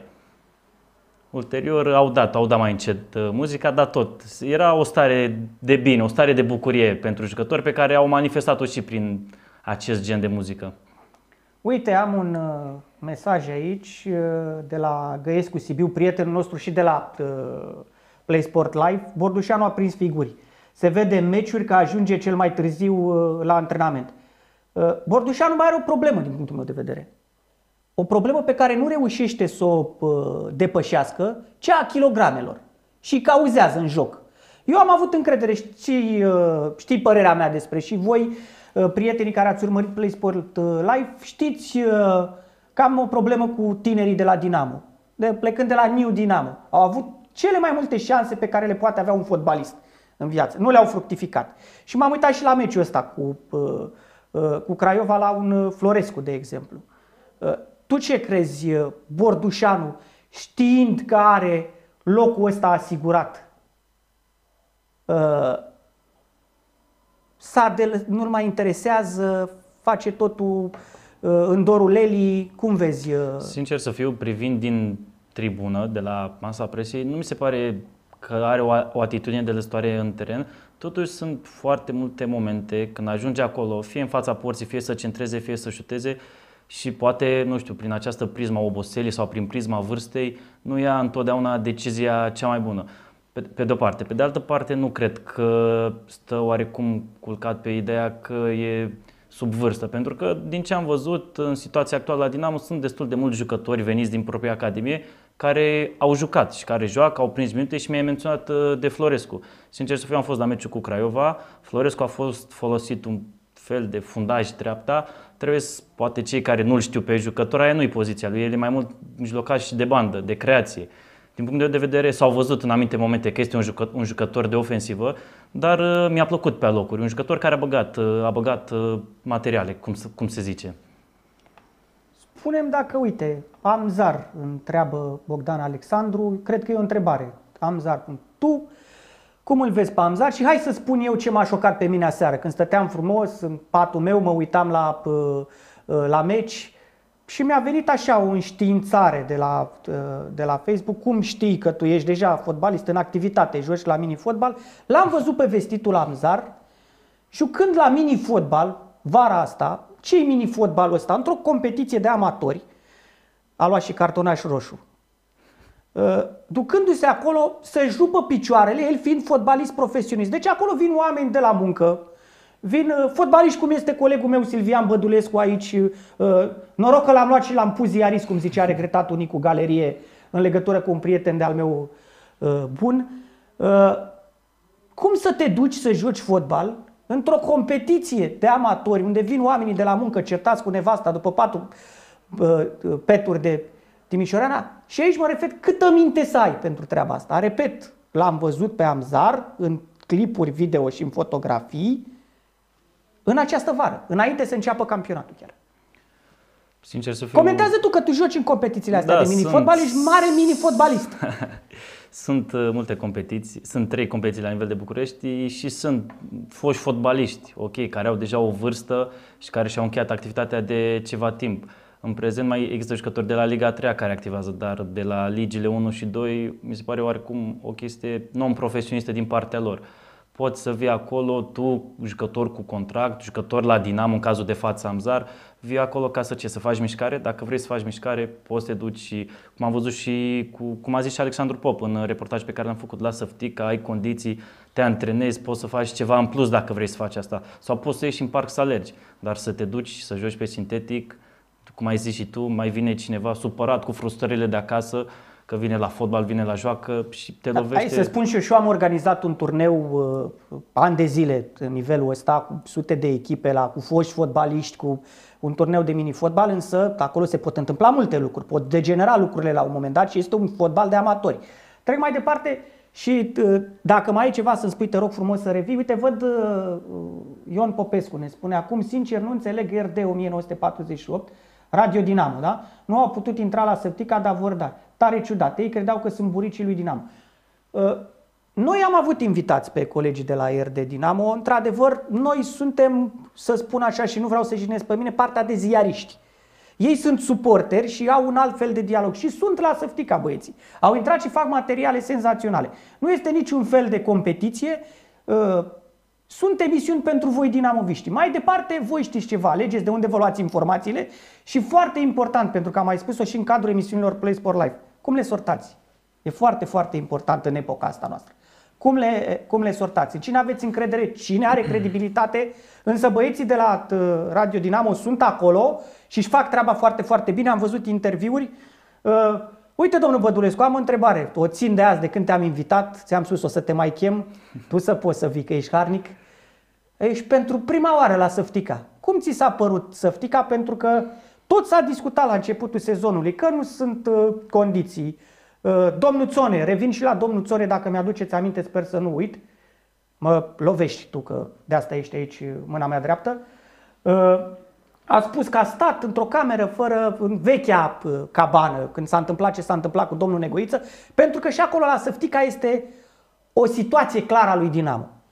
Becurile de la nocturnă sunt ale lui Nicolae Badea, jumătate din bază este a lui Ionuț Negoiță pe o firma tatălui său, cabana Victoria, recondiționată într-adevăr de Ionuț Negoiță, mandat este al lui Ionuț Negoiță și știm ce se întâmplă. Deci Săftica este exact singurul, cel mai important bun activ al lui Dinamo, că Caută. vorbim de o societate aflată în reorganizare. Exact este cum este Dinamo. Spune, cum ți s-au părut condițiile, domnul Bădulescu, la Săptica? Uh, trebuie să le menționăm celor care ne urmăresc că nu am apucat să intru în vestiare la sala de forță, am fost doar în afară, pe terenul de iarbă de antrenament, am văzut terenul de estetic de, de lângă, uh, în parcare acolo. Uh, din afară, în primul rând, foarte, foarte multă liniște și foarte multă verdeață. Și cum am intrat pe terenul de iarbă care arăta foarte bine, TRX-uri, tot felul de materiale specifice antrenamentelor unei echipe profesioniste. Și din ceea ce mi-a zis și Alex Pop, cu care am făcut interviul, au tot ceea ce le trebuie. Acolo au magazioner, au bucătar, au sală de forță. Da, știi că la un moment dat a existat discuția asta cu bucătarul, uh, făceau uh, doamnele de la curățenie aripioare, a și venit Cornel Țânar și a mâncat, așa cum au scris colegii noștri de la ProSport, uh, nu știu câte aripioare, asta era important. Nu exista, au fost problemele astea și da, chiar da, da, Alexandru Pop le-a, le spus, le-a, le apropo de credibilitatea presei, le-a spus, domne, au fost probleme și la începutul sezonului, când toate lucrurile erau vraiște și uite, oamenii care au venit au reușit să se așeze cât au putut. Da, da, da, da și a recunoscut că au fost probleme astea. la început, au pornit mai, mai greu, cum au zis și, și poate ți aduce aminte foarte bine de sezon trecut și jucători de el Dinamo și antrenori ziceau ceva de genul, domnule, avem atâtea accidentări și din cauza terenului de antrenament, că e foarte prost, terenul de iarbă de la Săftica. Ei, când am fost uh, și am filmat ieri, terenul arăta foarte bine. Era udat, era, era tuns, era totul la linie. Nu, nu au fost probleme de acest gen. Acum nu pot să mai aibă scuza asta. Și totuși, uite că la Dinamo sunt câțiva jucători accidentați, din vari motive. Am rămas dator la uh, domnul Lazar acolo. Știi, uh, știi de ce, domnul Silvian? Pentru că am văzut pe formule dinamoviștilor, recunosc, le consum pentru că e o chestiune de uh, uh, igienă profesională. Pentru mine trebuie să știu tot cum gândesc suporterii, pentru că avem bucuria asta. Avem bucuria asta, uite, te laudă lumea. Ești... Da, știu, știu, pe Marius mai, mai vorbim pe, Unde pe e camera, domnul? Domnul Graur, vă rog frumos, pentru tânărul jurnalist. mai lucrăm până la sfârșitul anului la câteva lucruri uh, frumoase și felicitări. Te felicit și eu pentru, Mulțumesc. de obicei te cert. Te felicit și eu pentru uh, uh, interviu cu Alex Pop și îl felicit pe Alex Pop pentru simplitate. Da, un, un băiat Când... simplu și foarte, foarte deschis foarte deschisă. Ce l-am întrebat, mi-a răspuns, nu s-a, nu s-a ascuns după cuvinte. Hai să, hai să fii Ovidiu Burcă. În locul Ovidiu Burcă, dacă jucătorul tău te înfruntă în fața tuturor, îți răspunde, mai mult are un conflict cu antrenorul secund, chiar în timpul meciului cu Panduri, uh,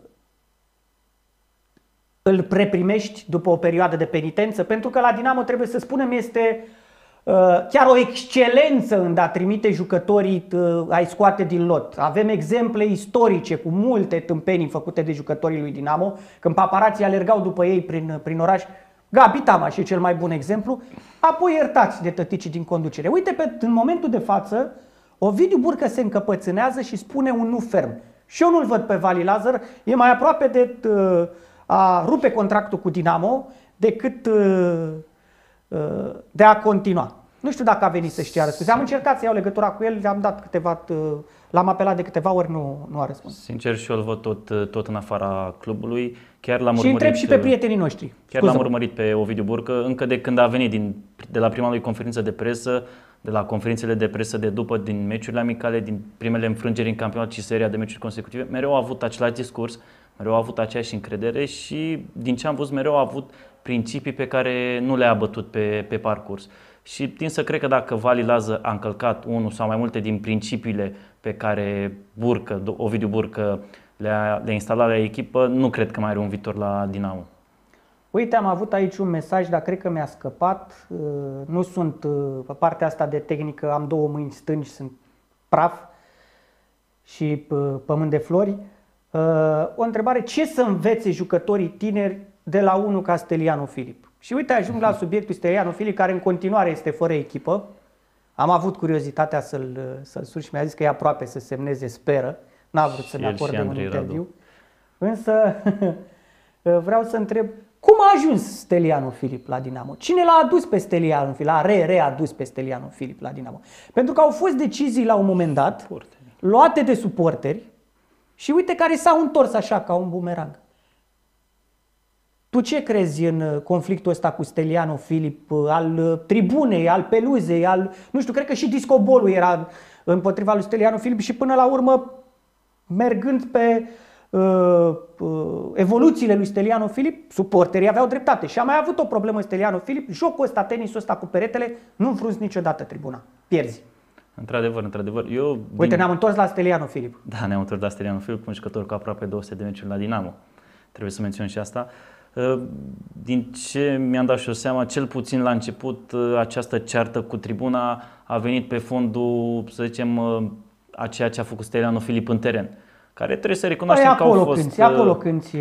Dacă nu ți iese acolo, nu o să Au reușești fost niciodată. puține meciuri în care Stelianu Filip chiar a a arătat că e un jucător care poate să ajute echipa, din păcate, atât pentru Dinamo cât și pentru suporteri, că până la urmă suporterii vin la meci să vadă Dinamo, să vadă jucătorii că dau totul pentru Dinamo și că Dinamo câștigă. Pe de altă parte, cum ai menționat și tu, Stelianu poate a avut, să zic așa, proasta idee de a se înfrunta cu tribuna și de a le răspunde. Ceea ce, uite că nu a fost chiar un lucru tocmai ok. Adică Da, s-au uite, o întors să întreb împotriva și lui. pe prietenii noștri. Cum se poziționează ei față de subiectul ăsta cu Lazar? Ți-am spus, eu unul spun că uh, m-a uh, impresionat Ovidiu, pentru că de obicei la Dinamo, uite că acum nu se mai întâmplă lucrurile astea, exista o presiune a lojii. Îl dădeai tu afară pe Tamaș. Dar venea Cristi Borcea și suna, sau Nicolae Badea, sau nu știu cine. Gata, ajunge, i-am dat o amendă. I-am... Apropo, l-am avut pe Bogdan Lobonț aici în emisiune și am și fă, am realizat un interviu cu el, un reportaj la metrou, că merge cu metrou, îl găsiți pe YouTube. Și mi-a zis, mi-a povestit cum a luat amendă cei mai în vârstă din avut și mai în vârstă și aduc aminte de meci. La un meci cu FC Argeș și a ieșit pe la mijlocul terenului și a driblat. Deci ajunsese chiar cu... Tu n-ai de unde să știi că aveai un an jumate atunci, domnul Bădulescu, și i-a dat amendă Ion Marin 200 de dolari. Și vestiarul a venit, Uh, Buia, cred că a fost, dacă mi-aduc bine aminte, zis, stai domne, cum îi dai? Păi dai și primă că a scos-o din vinclu pe aia. Repet, Lobonț pe la mijlocul terenului, mi-aduc aminte faza. Dribla pe acolo. Ieșise într-un meci cu FC Argeș. Vezi ce înseamnă treaba asta de vestiar și c- pentru a mă întoarce în, în prezent, eu zic că în momentul de față, vestiarul la Dinamo s-a așezat. Și poate s-a așezat și pentru că Burca a arătat că are mâna asta de, de fier puternică. Și uite că trece timpul și nici măcar n-am ajuns, domnul Bădulescu, să discutăm despre planul de reorganizare. De ce se întâmplă pe 24? De... Da, ajungem noi și acolo. Încerc să mă iau din, uh, din reacțiile voastre aici. Mi-a dat domnul uh, Mihai Iano și uh, producătorul emisiunii noastre aici o jucărie foarte, foarte frumoasă. Dacă mai apăs greșit, să mă iertați. Așa. Cătălin, chiar dacă ai spus că avem nevoie de laser, te contrazic. Cu tot uh, respectul, nu are ce căuta acest laser acum la Dinamo, e toxic și mai departe nu văd acolo, se întrerupe. Uh, Am spus că de jucătorul laser are nevoie Dinamo, de jucătorul de viteză care poate scoate om din joc, care a avut câteva evoluții bune în acest start. Într-adevăr, evoluțiile au fost așa în cumpănă. Fascinante. Uh, Asta am spus, însă în cazul în care am spus o parte din ce s-a întâmplat, uh, ce s-a întâmplat și ce a făcut el, eu cred că decizia lui Burcă este ok, dar să ieșim din treaba asta cu domnul Lazar. Mergi pe 24 la tribunal, domnul Bădulescu. Bineînțeles. Ți-ai luat acreditare? Uh, nu, dar mă ocup. Mă ocup. Te ocupi, nu? Ce crezi că se va întâmpla? Hai să vedem. Și recunoaște Sincer, că ai fost membru de DB și lasă-mă în pace. Recunosc, da, da, am avut Recunoști că ai card. fost membru de DB. Am Card, înțeles. am avut card, da. Acum, înainte de pandemie. Cam în perioada pandemică, de fapt, am avut. Vrei Uh, o tonă de înjurături? De ce ai renunțat, domnul Bădulescu, la card atunci, ca să, până trecem la planul de reorganizare? Mm, Am, mi-am făcut card pe valul acela care a fost cu programul doar din Ți-a plăcut? Adică cum au fost și oameni și rivali și jucători de la rivali? Ți-ai... Și la un moment dat uh, mi s-a părut că s-a ajuns într-un punct în care și mi-asum că zic chestia asta, programul n-a luat în, par, în calea dorită clubului, înspre binele clubului, din vari motive, nu știu mai multe și în momentul acela am considerat că nu îmi voi prelungi cardul, nu are rost. Start, domnilor, vedeți, un dedebist, un fost dedebist. Crisman, suporterii susțin pe burcă, nu mai vrem dictatura vestiarului. Uite, asta este, dictatura vestiarului. E, la Dinamo, dictatura vestiarului a fost așa o... Suporte, jucătorii au fost la un, moment, de- la un moment dat satrapi.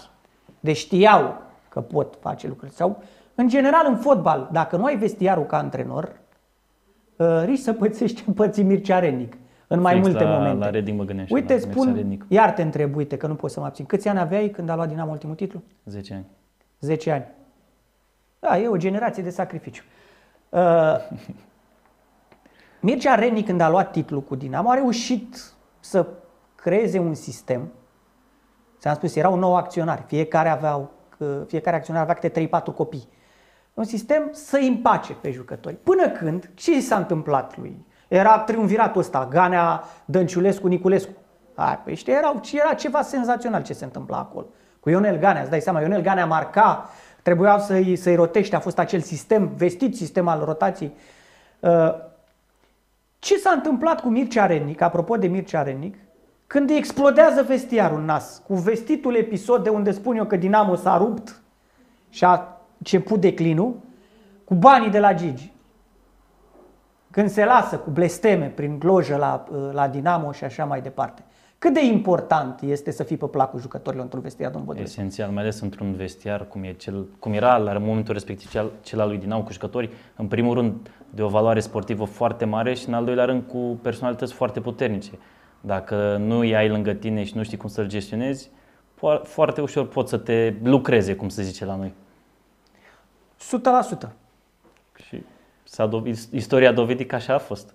Ia spune, mai, uh, mai realizat câteva interviuri cu tineri, tineri jucători dinamoviști uh, care s-au lăsat de fotbal, dur.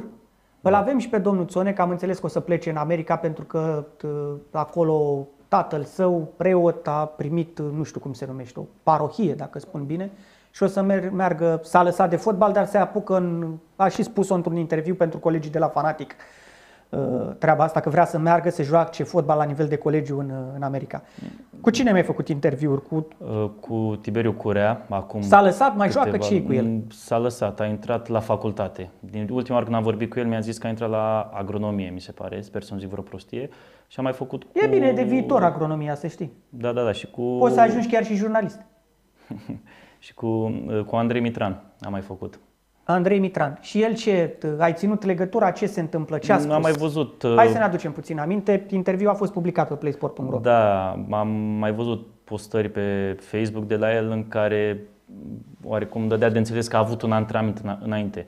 Cel mai probabil cred că se pregătește, se pregătește pe unde poate, în speranța că poate va primi un contract sau va fi lăsat uh, să plece. Eu, e o poveste mai, să zic așa, amuzant un pic. Noi am realizat la playsport.ro un reportaj video, ca să zic așa, când am dat o probă la CS Dinamo și atunci la Tu ai dat o probă. Da. la CS Dinamo, la Liga 3 și la final, în vestiar, l-am, l-am recunoscut. Nu mai știu de unde știam, l-am recunoscut și l-am întrebat, uh, vorbea acolo, vorbea cu alți jucători aflați și în probă, de Sece Dinamo, de faptul că nu vor să-i dea drumul, că el renunță la toate salariile pe care mai are să le ia, să fie jucător liber, să plece mai departe. Și la, nu știu, câteva, două, trei luni după, mi-am adus aminte de chestia asta și l-am contactat pe Facebook. Și uite, ce faci, cum ești, unde mai joci? Și a, că nu mai joc, că m-am lăsat. Păi, de ce? Ce s-a întâmplat? Și mi-a zis ce s-a întâmplat și am zis, hai, vrei să facem un interviu, să povestești ceea ce s-a întâmplat?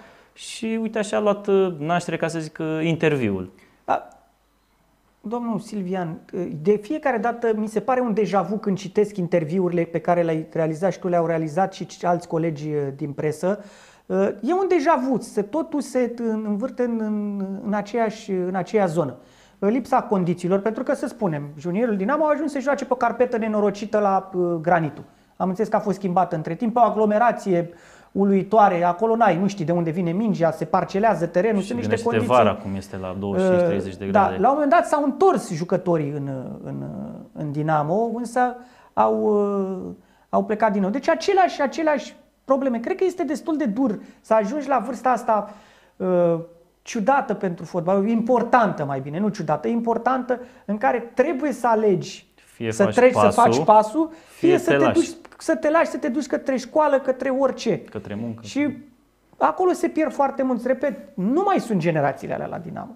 Nu trebuie să ne pui... Îți dau exemple, încep cu Marius Nicolae, l-am mai spus. A intrat la 16 ani cu Steaua, n-avea niciun trac, avea valoare.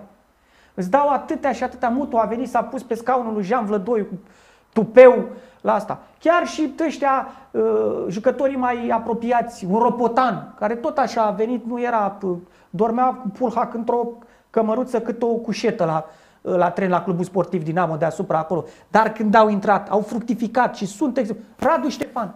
Unde era domnul Bădulescu Radu Ștefan? Era la Dinamo 2 unde era rezervă uh, fundat stânga. A venit Mircea Renic, i-a dat o, o, o șansă, uite el. Scuză-mă, a intrat pe fir domnul Dan Dragomir și trebuie să-i răspundem. Domnul Mureșanu, ce ați mai aflat de contestațiile la planul de reorganizare? Cine a depus? Păi e simplu, domnul Dragomir. Cu siguranță Lotus prin Dorin Șerdean și Nicolae Și Badea domnul prin Badea, da, sigur. uh, Nicolae Badea, Asociația Clubul Sportiv Fotbal uh, Club Dinamo. Club Dinamo. Am auzit ceva, acum nu este o știre verificată, că s-ar putea să fie și niște plângeri penale. Dar nu sunt verificate și nu vă, ți-am spus, tu știi foarte bine, domnul Bădulescu. Eu pun un pâd ăsta acolo jos, cum se pune la, la reclamă, când ne dăm cu părerea. Când avem informațiile clare, le, le spunem. Pentru că așa e corect. E bine când venim în fața oamenilor să vorbim pe lucruri, uh, lucruri clare. Uh, Sunteți mulți uh, prieteni și de-ai mei și prieteni ai emisiunii Play Sport Live, ai noștri la Play Sport aici. Noi am încercat să fim corecți cât, cât se poate, în primul rând, cu, cu meseria. Adevărat că uneori am mai și greșit, am dat informații care nu s-au uh, fructificat. Se va întâmpla treaba asta, alte ori ne-a, uh, ne-a ieșit. Uh, domnul Bădulescu, o întrebare. Plin de Dinamo Play-off-ul? O întrebare bună. Uh, Asta m-am gândit și eu. M-am gândit uh, în etapele astea care s-au scurs la început și mai ales când uh, a fost seria aceea în care Dinamo a pierdut trei meciuri la rând, am zis nu, nu avem nicio șansă la play-off. Totuși, uite că jocul a început să meargă, se leagă, există relații de joc, există parcă o răutate în plus și o dorință de a juca fotbal, de a arăta că merită, de a arăta o dorință a jucătorilor de a arăta că merită să îmbrace tricoul Dinamo și s-au legat uh, rezultatele. Dacă ne uităm în campionat, cel puțin sunt trei meciuri fără, fără înfrângere. Două victorii, un egal. Dacă e să legăm și cu Cupa României, sunt cinci meciuri în care Dinamo n-a pierdut. E, și ai îți mai făcut spune egal ceva, cu mai vin cu Craiova. ceva, să te completezi asta cu victoriile, că până la urmă e importantă și valoarea adversarului. Într-adevăr. și- Jocul a început să, să arate că are o idee. Exact. Ca o idee, exact pentru că la un și- moment dat nu exista în startul și până la urmă era și normal de unde să joace oamenii ăia aduși din toate părțile, unii rămași cu talentul părăsit la, la ei, cum sunt acești tineri jucători, de la care în continuare aștept să văd ceva. Sincer, uh, mă Și o uitam- să-mi cer scuze, vin și îmi cer scuze. Domnule Bani, o să-mi cer scuze. Am văzut la domnul Bani o pasă foarte frumoasă la meciul cu FCU, pe poziție viitoare la un contraatac. Eu am remarcat Și să știi că m-am închinat. și m- l-am remarcat în etapele astea, că mă uitam la, la Denis Jafer. Jafer a jucat și sezonul trecut, a prins câteva meciuri la Dinamo, Ma- dacă ne aducem bine aminte, a luat și un cartonaj roșu cu CSU Craiova, prin minutul 30. Mă uitam cât contează să ai la vârsta asta meciuri în picioare, chiar și la nivel de Liga a doua și să ai, din punct de vedere, un coleg în defensivă cu experiență, cum e Patriche, de exemplu, cum e Răzvan Patriche. Un jucător Domnul Bădulescu, De 30 Prinde de... Dinamo play-off-ul sau nu-l prinde? Spune că... Eu zic că îl prinde. Chiar mă uitam Mă, și ești, pe... ai discursul ăsta, semeni cu Victor Ponta câteodată. Mă uitam și pe, pe lângă jocul pe care l-am menționat și care s-a îmbunătățit, mă uitam și pe ceea ce urmează pentru Dinamo. E foarte important. Exact, sunt câțiva adversari sub Dinamo. Joacă acum sâmbătă cu Metalul Globus, care este codașa clasamentului. Urmează un meci acasă cu Slatina. Pe urmă, din punctul meu de vedere, o deplasare la Miercurea Ciuc de 6 puncte. Care Miercurea Ciuc, ultima echipă în momentul de față care are loc de play-off. Eu zic că cu puțin noroc, Dinamo poate să prindă in extremis play-off-ul. După cu puțin noroc. Pui tu cu puțin noroc semnul pentru ăsta de carte, cu că, puțin noroc. Pentru că e, sunt deja 5-6 puncte până la locul 6. Uh, dragilor, puneți întrebări. Uh, M-am săturat de presiunea pe care a spus-o la Play Sport Live. Uh, Vorbiți de Dinamo, vorbiți de Dinamo. Uite că vorbim de două ore. Puneți întrebări. Ce vreți să aflați? Din vestiar, dacă știm, vă, răs- de- vă răspunde. Din procesul de uh, reorganizare. Întrebați. Veniți cu și încă ceva ce vreau să vă transmit. Uh, Dați-mi idei. Vreau idei și domnul Bădulescu. Cu cine ați vrea să facem un interviu? Nu știu. Cine pe cine vreți să vedeți pe scaunul ăsta? Am promisiune pentru săptămâna viitoare că o să intre, o să avem o legătură cu domnul Zăvăleanu timp de o oră, adică prima parte o să o facem cu, uh, cu domnul Zăvăleanu. Este o promisiune, sper să mă țin și de, uh, de cuvânt. Domnul Zăvăleanu care de obicei intră la noi aici la Play Sport și intră peste tot și e de apreciat pentru, pentru treaba asta. Asta vă zic, e o emisiune pe care vreau să o facem împreună, așa. Eu am spus într-un comentariu cu un prieten de pe uh, pagina mea de Facebook, așa, să fie un bufet suedez, să ne alegem. Spuneți-mi, dați-mi idei, poate vine o idee bună, încerc, iau în calcul și poate reușesc să aduc uh, pe cineva pe care chiar vreți să, să vedeți pe, pe scaunul ăsta. E adevărat că de multe ori e, e foarte greu și ați văzut și ce salbă de uh, foști dinamoviști uh, am avut în startul emisiunii care ne-a urat succes și le mulțumesc din nou și cu băieții ăștia ai mei din regie o să mă socotesc eu.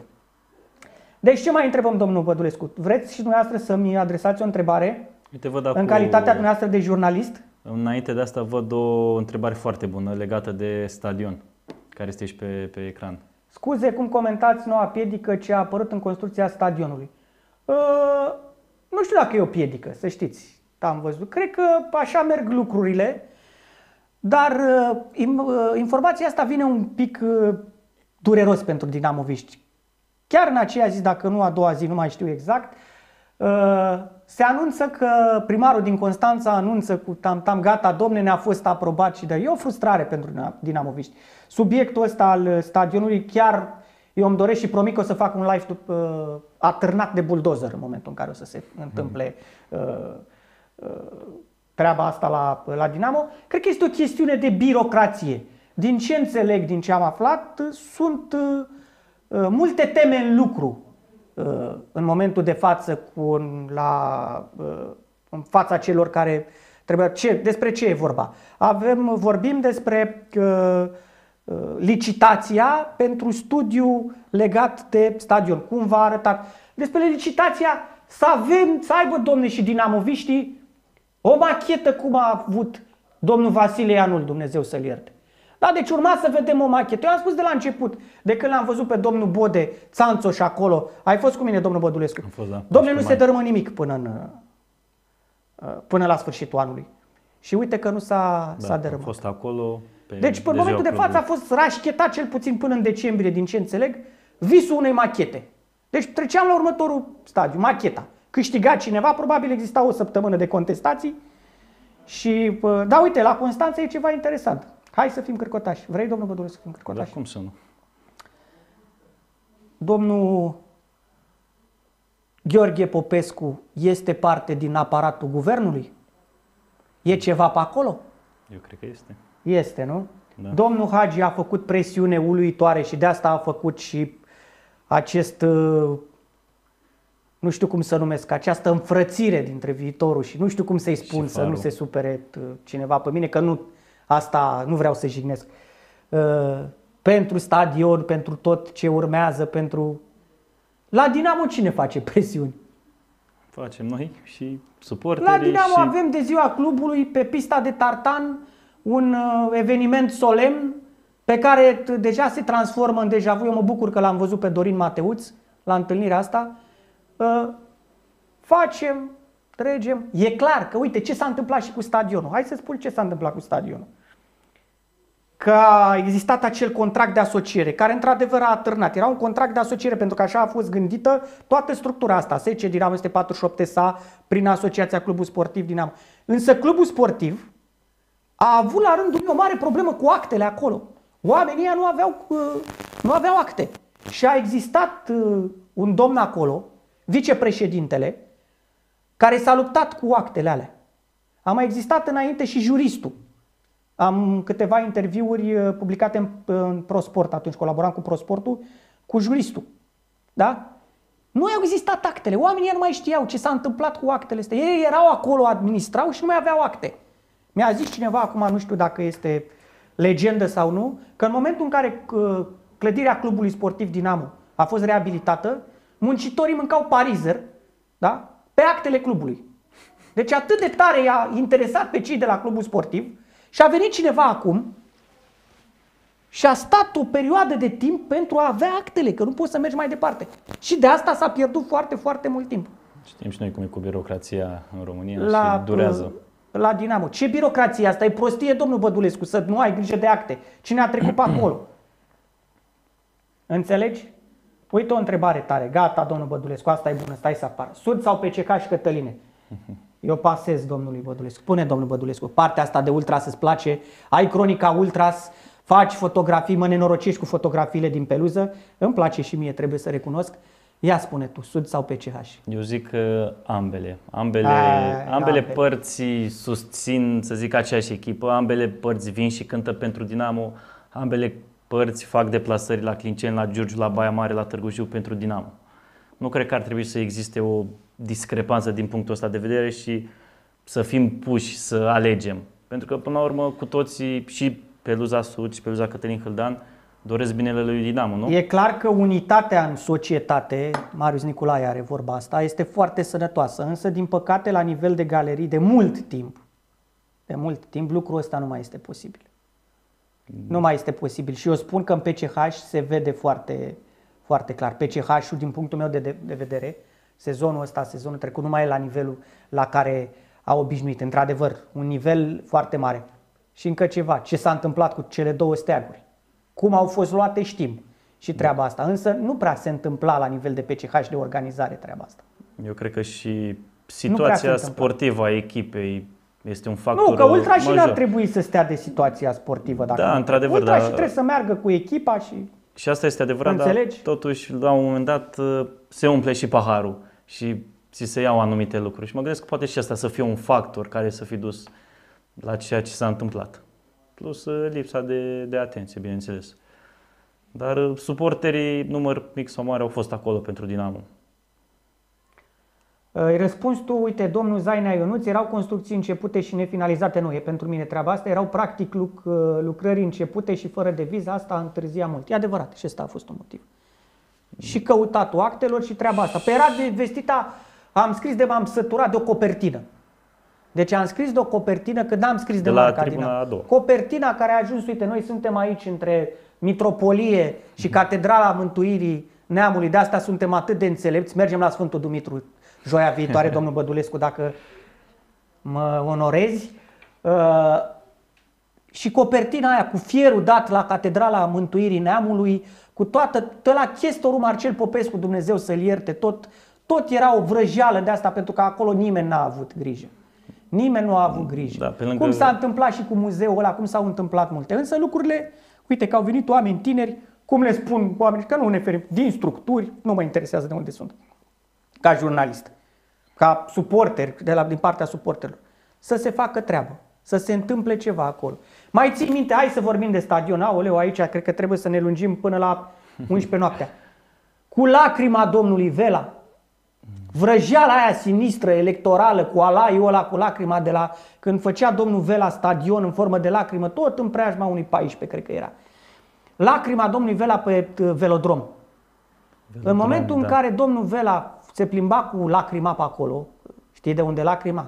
Nu știu. Ai, ce distractivă e asta. Nu știi nimic, domnul Bădulescu. Lacrima venea, domnul Vela este a plecat spre uh, credință. Era vorba de lacrima lui Isus. și locul, stadionul, trebuia să aibă 33.000 de locuri, pentru de la că primul. p- Iisus Hristos a murit la 33, 33 de de ani. ani, da. Deci Un ca să sfânt. vezi ce însemnătate pe, pe, pe, pe velodrom. Da. Când domnul Vela se plimba pe acolo, riverani, oamenii ăia cu vilele alea frumoase, le vezi, eu mă uit mereu și sunt invidios. Când eram mic, mă uitam la un balcon și zic, uite bă, omul ăsta vede meciul din balcon. Ce tare! Și eu mă gândim la asta Mai când Cristi era- Borcea când- a reușit Când când, eram l-a, mic. când l-a vândut pe Torge să ia și o clădire. Știi, în combinația aia. L-a cumpărat pe Torge, scuză-mă. Uh, și oamenii au depus toți acolo, uh, au făcut contestații, au deschis procese. Practic, din start, plecai cu o grămadă de timp pierdut. Exact. De la lacrima domnului Vela. Îl avem pe domnul Bode acum. Domnul Bădulescu, hai zim cu handbalul, te rog frumos, că aici e specialist internațional. Da, uh, chiar Vine un meci tare, nu? Da, chiar azi au avut uh, meci Dulăi, așa cum sunt porecliți, dacă la fotbal suntem câinii, sunt câinii, la handbal sunt Dulăi. Chiar azi am văzut că au câștigat la limită cu Minaur Baia Mare, însă grosul vine săptămâna viitoare. Miercuri vine Paris Saint-Germain, una dintre cele mai bune și bogate echipe ale lumii. Ia spune vreo șansă atât de cunoscător cum ești tu acest fenomen? Nu pot să zic Handbal că cu mâna? sunt uh, cunoscător pentru că și eu merg cam de un an de zile am început să urmăresc fenomenul, tot să zic așa, din cauza sau datorită um, echipei de handbal de la Dinamo. Eu cam de primul meci a fost an trecut cu Porto. Am, din ce am înțeles, PSG-ul este una dintre cele mai bune echipe din lume. Cum este practic și la fotbal. Hai, hai la fotbal, lasă-mă cu fotbalul tău. Dar uh, Cu PSG-ul. Am- De exemplu, un exemplu bun pentru mine este sezonul trecut. La fel și Vesprem. Am înțeles că este o echipă foarte bună și Dinamo a învins-o sezonul trecut. De ce, nu, de ce să nu facă și în uh, sezonul acesta? Avem... Domnul Bădulescu, de ce nu joacă, domne, echipa asta în sala de polivalentă Dinamo, că așa se numește? Cred că cei din Ce conducerea... e vrăjeala asta că sala nu îndeplinește, nu știu cum, nu știu. Ce nu? Păi până acum a îndeplinit sau s-a jucat cu derogare? Bine, numai în Liga 1, în Superliga asta, sunt derogări de un an care durează patru ani. Nu știu, prietenii noștri care vă pricepeți mai mult, spuneți-mi și mie, recunosc, sunt în offside aici, nu e cu offside la handbal, dar uh, și îți spun ceva, domnul Bădulescu.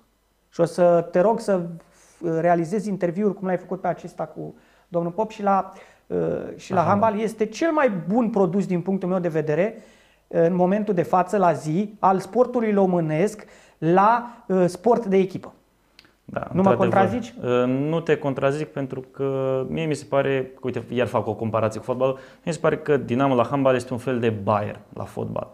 O echipă care pe plan intern nu are rival, însă pe plan extern luptă cam de la egal la egal cu cele mai puternice forțe ale continentului. Revenind la sala polivalentă, din punctul meu de vedere, logica mă duce în sensul în care poate conducerea clubului speră să, vin, să vândă mai multe bilete la, la sala polivalentă decât la sala Dinamo. Știm cu toți că sala polivalentă are 4-5 Da, mă, mii dar de e altă locuri. atmosferă. Mie mi s-a părut că e altă atmosferă. Mm, Sunt și eu din ce Erau am ăia văzut... mai aproape. Uite, eu am exact, auzit de asta, voiam am să zic întrebat și eu. și îi mulțumesc uh, și lui Ionuț Zaina că ne lămurește aici, ne spune că nu există uh, din partea EHF și uh, cu siguranță uh, știe mai bine uh, pe partea asta și, și tu știi mai bine decât mine. Era, eu cred că oamenii ăia s-au cam speriat la un moment dat cu treaba asta. Pentru că galeria PCH-ul, cu Sudul, cu cine mai veneau pe acolo, cu... făceau o presiune pe adversar și băieții ăștia s-au cam speriat. Totuși, e un sport în sală și parchetul este foarte aproape de tribună, de Da. peluze. Adică, Asta am auzit, presiunea, așa mi-a zis mie presiunea cineva. asta ar veni indiferent Că că, s-au joci cam la speriat sala adversarii. Dinamo, indiferent că joci la sala polivalentă. Adică în ambele săli te poți pune pe locuri în așa fel încât să fii la un fir de păr de, de teren. Uite, domnul Bădulescu, mi iei uh, ciolanul din fasole. Domnule Mureșanu, cum vede invitatul și colegul dumneavoastră afirmația domnului Cristi Hâldan precum uh, echipa din Liga a 3 are accept să folosească chipul? Nu, echipa din Liga a 3 nici nu folosește, este Nu vorba folosește. de echipa din Liga a 4 Pentru că cineva a cerut acceptul. La- și l-a și pentru primit. mine, uite, este o, pentru noi este o știre asta, că cineva nu s-a gândit la acest element de etichetă. E adevărat că la Dinamo sunt foarte, foarte multe probleme, dar pe ăsta îl treci primul. Corect. Pe ăsta îl treci primul. Corect. Și spun eu ceva, domnul Bădulescu, și le spun și prietenul nostru. Cu, bun, cu bunul lui simț, Cristi Hâldan n-a spus multe la masa asta. Și are multe pe care le are aici. Am multe, simțit multe, și eu, am pe simțit multe. De multe ori s-a că oprit și stă nu a să spus le, multe să lucruri. le zică, da. Pe unele le-a, le-a scăpat, le-a spus. Cred eu că dacă interviul ăsta, dacă îl făceam în scris, cum am mai făcut interviuri cu Cristi Hâldan, ruibist, nu fuge de contact, Corect. îl făceam în scris, aflam mult mai multe lucruri. E, camerele astea uneori nu ne ajută în, în procesul ăsta al nostru uh, jurnalistic de a, de a scoate, că până la urmă am spus, suntem în primul rând aici uh, jurnaliști. Ce mai întrebăm, domnule, cât timp mai avem? Domnule Ianu și mai, ne mai lași 5 minute, nu? Întrebări? Ce 5 minute prelungiri, auzi, domnul Ianu și ne lasă, că Mircea State nu nimeresc să-ți... Ah, uite aici, Cătălin. Câte machete de stadion ai văzut? Eu am văzut 6-7, prima în 1991. Păi nu e în 1991 aia lui Vasile Ianul cu San Nicola? Cu San Nicola, da. Ce vorbești, mă, tu am- de San Nicola? De De unde am știi tu auzit, asta? doar am auzit, am citit. Atât. Nu am văzut-o fizic, dar am citit. Ai citit. Da, Cu vederea asta e bine? foarte bine. Deci vezi pe stadionul Dinamo. Uh, da, eu văd că am ochii buni, dar anumite persoane s-ar putea să nu vadă foarte bine. Domnul Mircea State, am văzut multe, nu mai cred în ele, deja m-am plictisit de machete, nu mai vreau. Uh, Sunt un uh, om care atunci când vede o machetă, îi se face rău, nu contează de ce, nu mai vreau să văd machete. Nu mă mai interesează. Erau niște imagini cu Ceaușescu, cu macheta Casei Poporului, cu Anca Petrescu. Acum câteva zile am întors capul așa, n-am vrut să văd. Da. Pur și simplu n-am vrut, nu mai vreau să văd machete, m-am săturat. Vreau Cred să că- văd un buldozer. Cred că Asta îmi toți doresc. suporterii Un dinamoviști până nu buldozer. văd uh, buldozerul nu vor o zice gata să vedem. basculantă, ceva. Avem nevoie de o basculantă între Circul de Stat și uh, Spitalul de Urgență. Și aici s-ar putea să fie o problemă. Uite, apropo de treburile astea, că uh, e greu cu scosul molozului. Urmează o demolare, să dea Chiar, Dumnezeu să uh, ajungă la ea, pe care o să o facă Ministerul de Interne prin Clubul Sportiv Dinamo. Apropo, am înțeles că este prins, a fost prins în buget uh, a fost prinsă în buget suma pentru uh, acest an și trebuie pentru la anul aprobată din nou suma pentru Da, chiar și eu că dacă auzisem- nici la anul nu vine buldozerul, nu mai sperăm. Chiar și auzisem la un moment dat uh, o informație bine, pe auzite, nu verificată, conform căreia mi-a zis cineva, nu pot să vină bu- camioane să demoleze sau să vină cu materiale dacă depășesc două tone. Mă, la un moment dat trebuie să scoată și molozul de acolo. Trebuie nu știu, cumva. Scot cu alea, cu lopeți. Vin suporterii din Amoviș, că au mai ajutat cu lopeți. Fiecare cu o lopată se oprește la, nu știu, pe câmp, la Ikea, acolo în spate. La... Trebuie să existe. Florin Alexandru, un interviu cu banii când urmează. Când o să dea un gol frumos. Când o să facă ceva pentru echipa Dinamo București. Apropo, vă pare rău că nu l-a cumpărat sau nu l-a vândut Bălănescu cu 50 de mii atunci? Că a fost o discuție. Știi că a existat Da, o știu, ofertă știu, pentru știu. bani.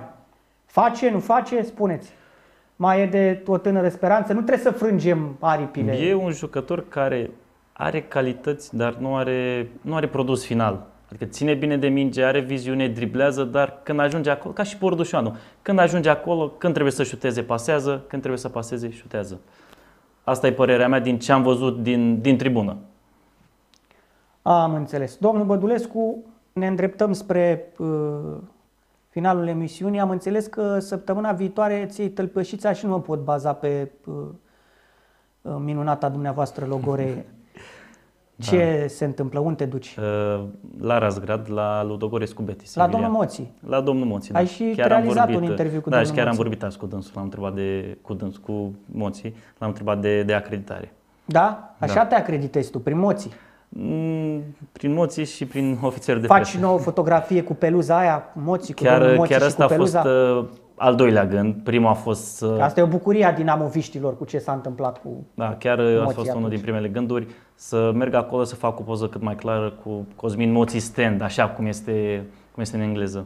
Bine, promit că o să mă descurc și fără, fără tine, dragilor. Vă mulțumesc, vă aștept și săptămâna viitoare. Dinamo 79, 79 PM, 19 t- uh, 21 uh, și la fel vă rugăm scrieți-ne cu îmbunătățiri. Nu uitați Play Sport uh, Live, pe mine mă găsiți pe partea cealaltă a mesei joc pe stânga.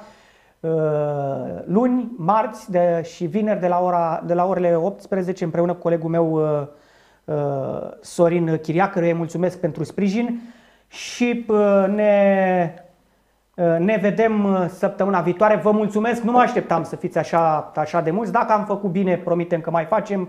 Dacă nu, șefii noștri ne vor da afară. Salutare, vă mulțumesc frumos și ne vedem săptămâna viitoare.